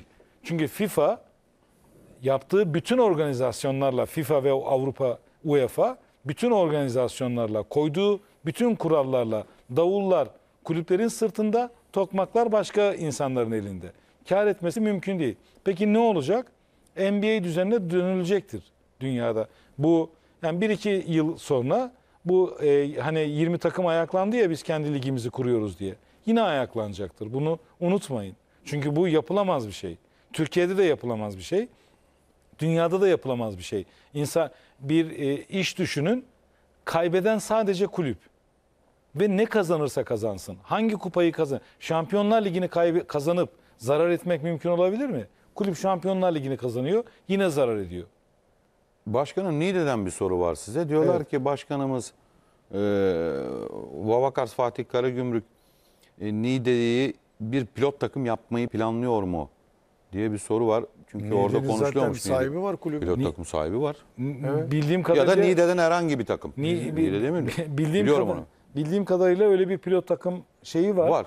Ve bir de ayrıca ben bu pilot takım işine de hani fikir olarak karşı birisiyim. Yani pilot takım yapmak Hiç e, işlemiyor. E, bunlar böyle hani böyle konuyu hiç bilmeyen insanların ya böyle yap e, işte oyuncu oyuncuları alacaksın işte filanca yere vereceksin orada yani şimdi düşünebiliyor musunuz Galatasaray bunu denedi. Niğde. Beylerbeyi ile denedi olmadı bile. Hayır şeyi de Niğde, Niğde'yi de denedi, olmadı. Şimdi diyelim ki e, Fenerbahçe e, bizim 3. ligimizden veya 2B'den bir takımı pilot takım yaptı.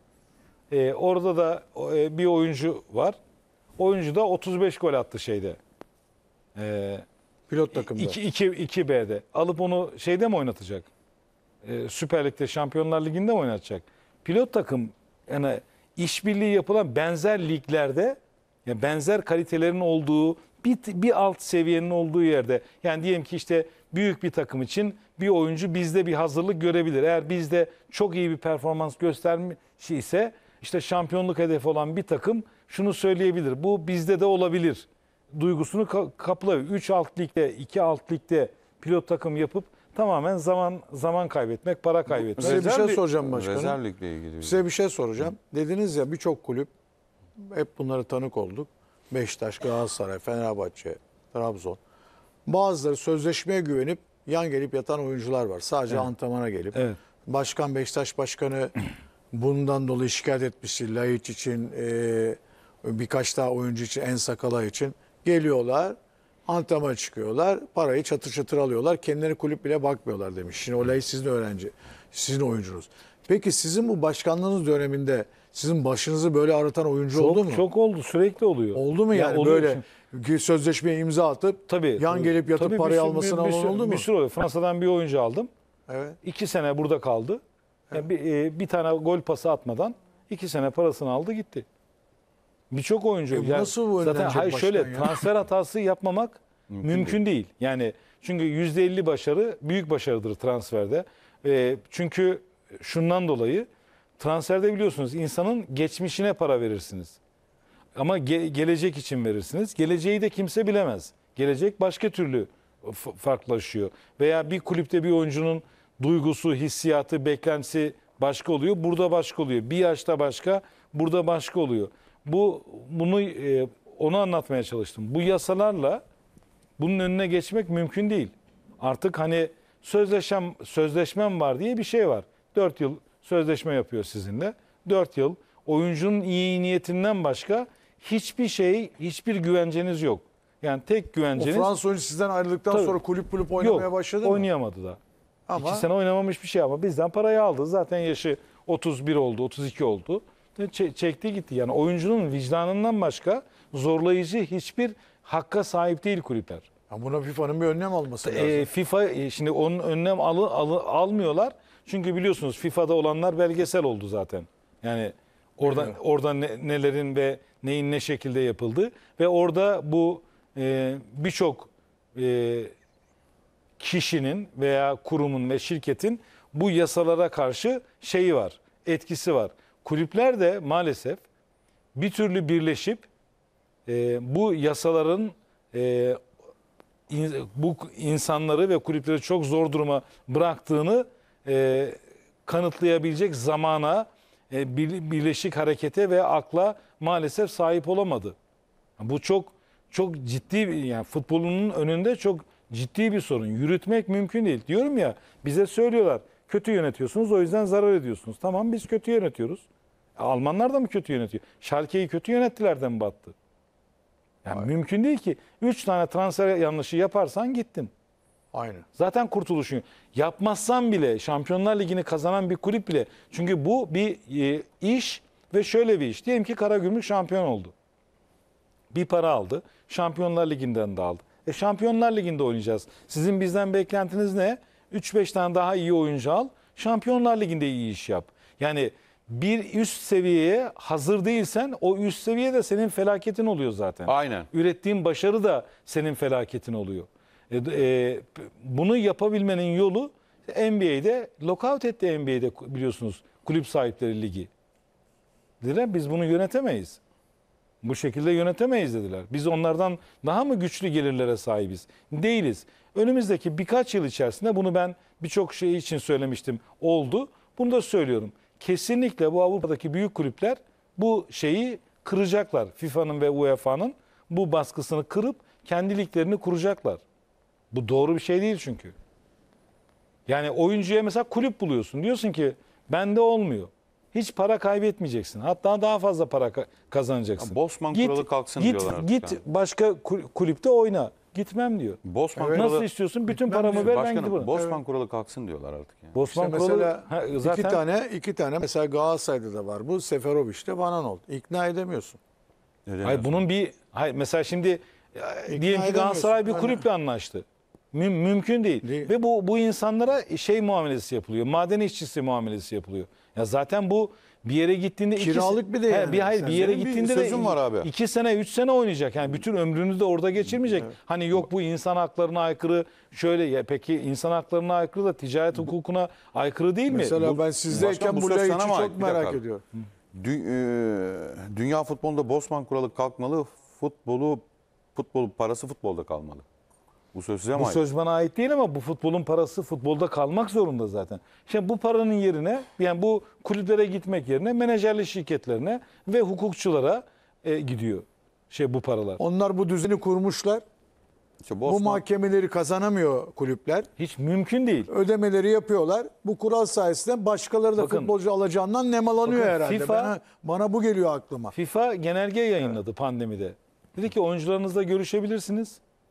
Oyuncularınıza pandemi döneminde bütün oyuncularınıza olmak ve yazılı olarak onlara bildirmek, hepsini aynı şekilde uygulamak kaydı ile %10 mu işte neydi? indirim yapa- yapabilirsiniz. Anlaşamıyorsanız eğer oyuncuyla da anlaşamazsan re- reysen %10 civarında bir indirim yapabilirsiniz. Evet, öyle biliyorum. dedi değil mi? Evet, dedi, Yap- evet. Yapan kulüplerin tamamı davaları kaybetti.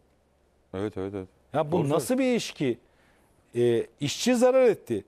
Devletler zarar etti, vergi alamadı. Restoranlar battı, zarar etti. Eğlence sektörü zarar etti. Kulüpler etti, seyirciler kapandı. Konaklama bitti. Her yer etti. Bir grup etmedi. Futbol. Futbolcular. Ve mesela konuşuluyor futbolcu sendikaları, futbolcular.